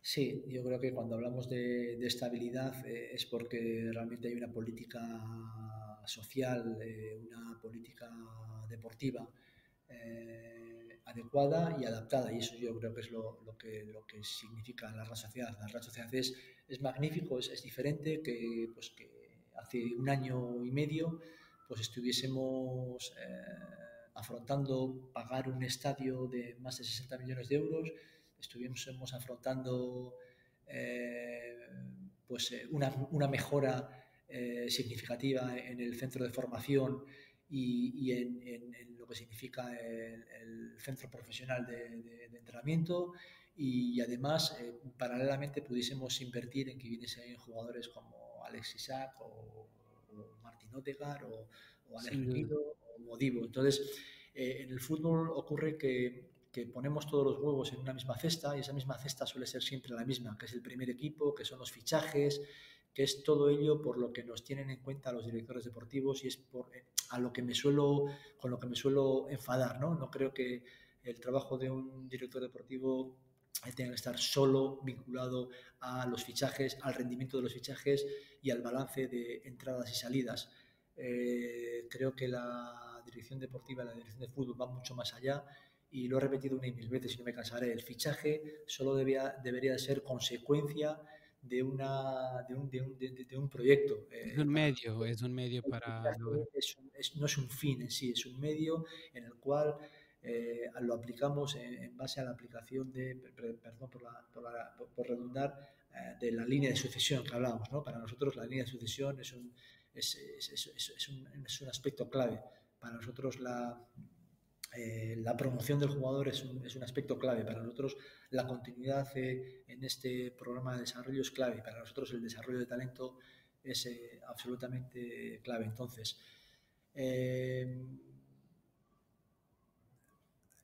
nosotros los profesionales lo que tenemos que, vuelvo a decir, es ponernos el traje y adaptarlo a cada club. Y este club ahora mismo tiene una buena salud en base al trabajo que se ha hecho y lo que tenemos que intentar es de vez en cuando volver a donde iniciamos para ser conscientes de las cosas que están ocurriendo y que no sea solo si jugamos eh, Europa o si jugamos finales. Nosotros, yo lo repito, si tienes que elegir entre, entre los sueños y los miedos, me quedo con los sueños. Eh, si tengo que elegir eh, entre el miedo a perder o la posibilidad de ganar, eh, prefiero pensar en ganar siempre, prefiero ser aspirante. No creo que nadie salga de casa eh, diciendo voy a ver si subo el Everest, voy a ver, voy a ver, es complicado. Eh, no, no queremos que sea casual, entonces vamos a poner los, todos los medios para intentar ser aspirantes, para intentar ser recurrentes y por qué no, y por qué no ser campeones, ser campeones. Eh, yo, yo creo que hay que imaginárselo, yo creo que sufrimos demasiado en el día a día, eh, tenemos un ritmo social absolutamente diferente, estamos súper expuestos a la masa social, como para vivir también en los momentos de, de aspiración, eh, vivir escondidos. ¿no? Yo creo que, que, que la aspiración eh, debería ser algo natural en un deportista. Un deportista está pensando en mejorar la marca, un deportista está mejor, pensando en en, ser mejor que el adversario, un deportista está pensando en ser mejor que uno mismo, con lo cual yo creo que ahí tenemos que llevar ¿no? eh, la aspiración de, de, por qué no ser campeón. Y es una máxima que, llevo, que he llevado siempre en, Almería, en Doha, en Ecuador, en Valladolid, aquí, que hay veces que, que, que, eres campeón y hay veces que, eres eh, súper perdedor, eh, pero que creo que, lo que tenemos es que preparar precisamente para, para intentar ser campeones. Pero lo curioso es que no tienes eh, miedo o recelo de, de comunicárselo eh, públicamente, ¿no? ¿Tú, ¿Tú, crees que también esta comunicación eh, de cara al exterior puede también incrementar la demanda interna y mentalmente que eso puede ser positivo para el rendimiento de, del equipo, del primer equipo? Mira, hay una cosa que, que, que se llama conciencia colectiva o inconsciencia colectiva, ¿de acuerdo? Eh, yo creo que la, que la tenemos que, trabajar. Y yo creo que si realmente tú trabajas para algo, no tienes por qué tener miedo a, a exponerlo y a exponerte. Eh, sí, eh, ocurre en el mundo del, del deporte que parece que, que, tener una aspiración y generar una expectativa es el primer paso a que luego si no se produce se considere un fracaso. Con lo cual es el primer paso a que tú quedes eh, absolutamente marcado. No, no creo, no creo en vivir así. Eh, creo que si realmente creo en algo, me tengo que exponer y, y, tienes que intentar vivir pensando en ello. si la expectativa va a ser el primer paso a la decepción, algo estamos haciendo mal si la expectativa es el primer eh, paso hacia el fracaso, algo estamos haciendo mal. Entonces, eh, yo no tengo miedo a que, a, que, a que en un momento dado, por ser aspirante dentro del tiempo, me, me, lo echen en cara. Eh, yo me preocuparía más si lo que haría es esconderme, no vaya a ser que no, que no salga lo que quiero, porque si haces eso, realmente no vas a transmitir, no vas a contagiar, no vas a generar ilusión. Eh, yo creo muchísimo, muchísimo en la retroilusión, eh, en la que tengo yo, en la que tienen los jugadores, en la que tiene el club, en la que tiene el aficionado, que para nosotros es clave. Eh, creo muchísimo que, tenemos que ser apasionados en el día a día. Creo que la única manera de, conectar con tu gente es que tu gente te vea, que te vea que realmente te gusta lo que haces, quieres lo que haces, aspiras a lo que haces. Entonces, vuelvo a decir, eh, eh, dentro de un tiempo me podrán echar en cara que yo dije una cosa y que no se ha cumplido. Pues quizás, pero lo que no voy a, vuelvo a decir, lo que no voy a vivir es limitado eh, al miedo de lo que ocurrirá. creo que, que, lo siento, no tengo problema en exponerme a costa de que cuando alguien se expone eh, sabe que sabe que está pues bueno pues, pues que, está en la mira eh, de que se podrá hacer un juicio de valor de una manera u otra no pero vuelvo a decir eh, pero que, es, que, pero que ese no sea el problema, porque expuesto ya tú estás, ¿no? En tu rol, en tu, en tu puesto, así que, que no sea un problema. Y Roberto, eh, lamentablemente estamos entrando en la parte, e, en, el final de nuestra conversación, lo que es una lástima porque consigo estar hablando por 10 o 15 horas contigo, eh, pero quería aún así preguntarte cuáles serían, eh, en tu opinión, los tres, cuatro principios del éxito de un director deportivo o director de, de fútbol de un club. Éxito éxitos, que no sé, me parece, me parece un camino muy corto. Eh, eh, llegar a hablar del éxito me parece que es eh, omitir demasiadas cosas. no sé, yo creo Pero éxito no tiene que ser resultados inmediatos, pero puedes adaptar el concepto para un trabajo más profundo en, en, la, en el fútbol base, en una reestructuración del club, lo que, lo que sea yo lo primero que, creo que, cualquier eh, persona que, tiene que liderar un, ámbito amplio, como es en este caso la dirección de fútbol o, la dirección deportiva, eh, tiene que tener un plan, tiene que tener un objetivo, eh, tiene que tener claro, para, llegar a ese plan y objetivo, yo creo que la, la realidad contextual en donde lo vas a poner en marcha, o donde te lo están proponiendo es muy importante. Es muy importante y tienes que, tienes que perder tiempo en, eh, en observar para luego proponer hasta llegar a consolidar. Tú no puedes, en el fútbol lo que, lo que pretendemos es consolidar eh, demasiadas cosas, convertir ideas en proyectos que es imposible. Eh, una idea tiene, tiene un timing de cocción para, para convertirla en proyecto. Si no, nos ocurre en el fútbol en la vida que que tenemos muy buenas ideas a la noche cuando no dormimos, estamos pensando, eh, pero las queremos mm, poner en marcha inmediatamente y no, no, no las convertimos en proyecto. Por lo cual, eh, yo creo que la base del éxito, precisamente la base a la que poder recurrir, a la que poder retornar, a la, que poder volver, es tener eh, claro qué es lo que quieres, en dónde estás, si realmente, en este caso, qué, qué perfil tiene el club donde trabajas para poder proponer lo que tú crees que puedes desarrollar. No es lo mismo trabajar, lo hemos dicho antes, en un club eh, en el cual el tractor sea solo el resultado del primer equipo que en un club en el cual la cultura te haga estar vinculado al desarrollo de talento. Eso es lo primero, o sea, la, lectura contextual de, la realidad de ese club, de, esa, estructura, es lo primero. Lo segundo que te diría es rodéate bien, rodéate, rodéate, cada día soy más convencido de que eres eh, de lo que te rodeas, no, no, eres lo que tú eres, eh, eres eh, parte de lo que te rodeas y, a partir de ahí pues puedes, puedes hacer crecer una, una, una, estructura, no creo que, que uno por sí solo pueda, pueda ser. Una tercera, que, que, ya lo he dicho, sería vuelve siempre a donde has comenzado, vuelve siempre a donde has comenzado para, para tener una, una, retrospectiva, ¿de acuerdo? Para, para, porque para tener una perspectiva, para mirar hacia adelante tienes que tener una retrospectiva de, de dónde, de dónde vienes y qué ha ocurrido para, para que vayan ocurriendo o vayan no ocurriendo cosas, ¿de acuerdo?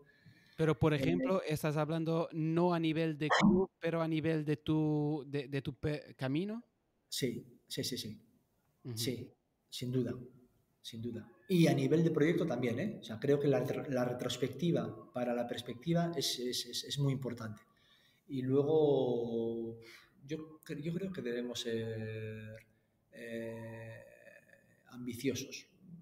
Yo creo que la palabra ambición por momentos es peligrosa, pero creo que, que, te tienes que poner eh, retos eh, porque, porque, y estímulos que, que, te hagan moverte en el día a día, porque si tú te mueves internamente vas a poder, eh, vas a conseguir mover eh, lo que ocurre alrededor. Y creo que, que los retos estimulantes creo que, que son parte de nuestra, de nuestra vida. y sin ellos, em, sin ellos difícilmente vas a, vas a conseguir objetivos. los objetivos eh, podrán pasar, pero, pero serán más eh, eh, casual que causal. serán, creo que lo he repetido ya a lo largo de, nuestra entrevista, Pedro, creo mucho en, más en buscar que en esperar. Y, yo lo que diría es que, tienes que buscar aquello que propones, aquello que organizas, aquello que, piensas, aquello que sueñas, lo tienes que, buscar en la organización, en el día a día, eh, en el fútbol y en la vida. Y mm, finalmente, para terminar, ¿qué podrías sugerir a los oyentes? Uh, ¿Qué libro, documental, serie, peli sobre fútbol o gestión deportiva podrías recomendarnos? Bueno, no sé, no lo sé. Yo igual, eh, por el momento en el que estamos, eh, pues mira, hace, hace poco eh, renové mi, mi, contrato y en, estos tiempos en los cuales pues las reuniones sociales están más complicadas y pues eh, más allá de, invitar a, pues, a, los responsables de, unidades y a la gente que está trabajando conmigo, invitar a, comer o a cenar, que, sueles hacer, pues eh, como, como, un primer paso hasta que se pueda hacer aquello, pues decidí que en el Día de Reyes compartir una, una una lectura, un libro que se llama Fast Good Management, que es de, Francisco Alcalde, que bueno, ya creo que escribió Aprendiendo de los Mejores, ese es management, ese quizás se lo digo a ellos, ¿eh? que, que, que, les regalo a ellos, no sé si algo que les gusta a ellos o, algo que realmente me gusta a mí, ¿no? Eh, que es lo que suele ocurrir eh, cuando hago los regalos. pero bueno, me apetecía compartir, es una lectura corta, es una lectura pues, que, que te permite entrar y salir de ella sin, sin que te genere ningún tipo de ruido antes y después, que, es sencilla eh, y que, bueno, pues que simplemente, pues hablando del contexto, del momento, pues como se ha producido ahora eh, el Día de Reyes y, en un momento, pues bueno, era un momento de, reconocimiento y de agradecimiento a la gente que está viajando conmigo recorriendo este, este camino chulo, eh, a gente súper comprometida, a gente que está dando lo mejor de sí y que, y que además de que un día comeremos o cenaremos juntos, eh, cuando la normativa sanitaria nos deje, pues me apetecía que los tiempos que, que les quede que les deja este proyecto intensito que tenemos entre manos, pues que, tengan una lectura que a mí me suele gustar de vez en cuando. Eh, el management, eh, al final yo creo que las personas, cómo nos relacionamos, cómo, cómo nos gestionamos eh, los unos con los, con los otros es, es clave y creo que, que que esta lectura... Principalmente en tu, en tu, rol, ¿no? Que es casi es 360 grados, ¿no? Eh, eh, academia, primer equipo, eh, scouting, una serie de, de, temas, ¿no? Yo quiero vivir la dirección de fútbol desde ahí, pero no puedo hacerlo solo. Entonces, precisamente porque mi rol no puedo hacerlo solo, no puedo tener la mirada del líder o de la gestión. Yo solo quiero que, quiero, parafraseando a, a mucha gente buena, quiero, quiero, prefiero... Eh, conseguir eh, más líderes, más liderazgos que solo seguidores. ¿no? Eh, entonces, eh, va un poco también como, como el juego. Prefiero que los chicos acaben entendiendo el juego que solo sea el entrenador el que, el, que sepa del juego, ¿no? porque seguramente que las decisiones serán más y mejores. Pues en este caso, en la gestión lo mismo. Prefiero que, que todos sigamos creciendo en aspectos específicos y genéricos para ser mejores todos juntos. Eh, Roberto, una vez más, eh, muchísimas gracias por tu presencia aquí en el Folla. Pero gracias por eh, este rato de conversación.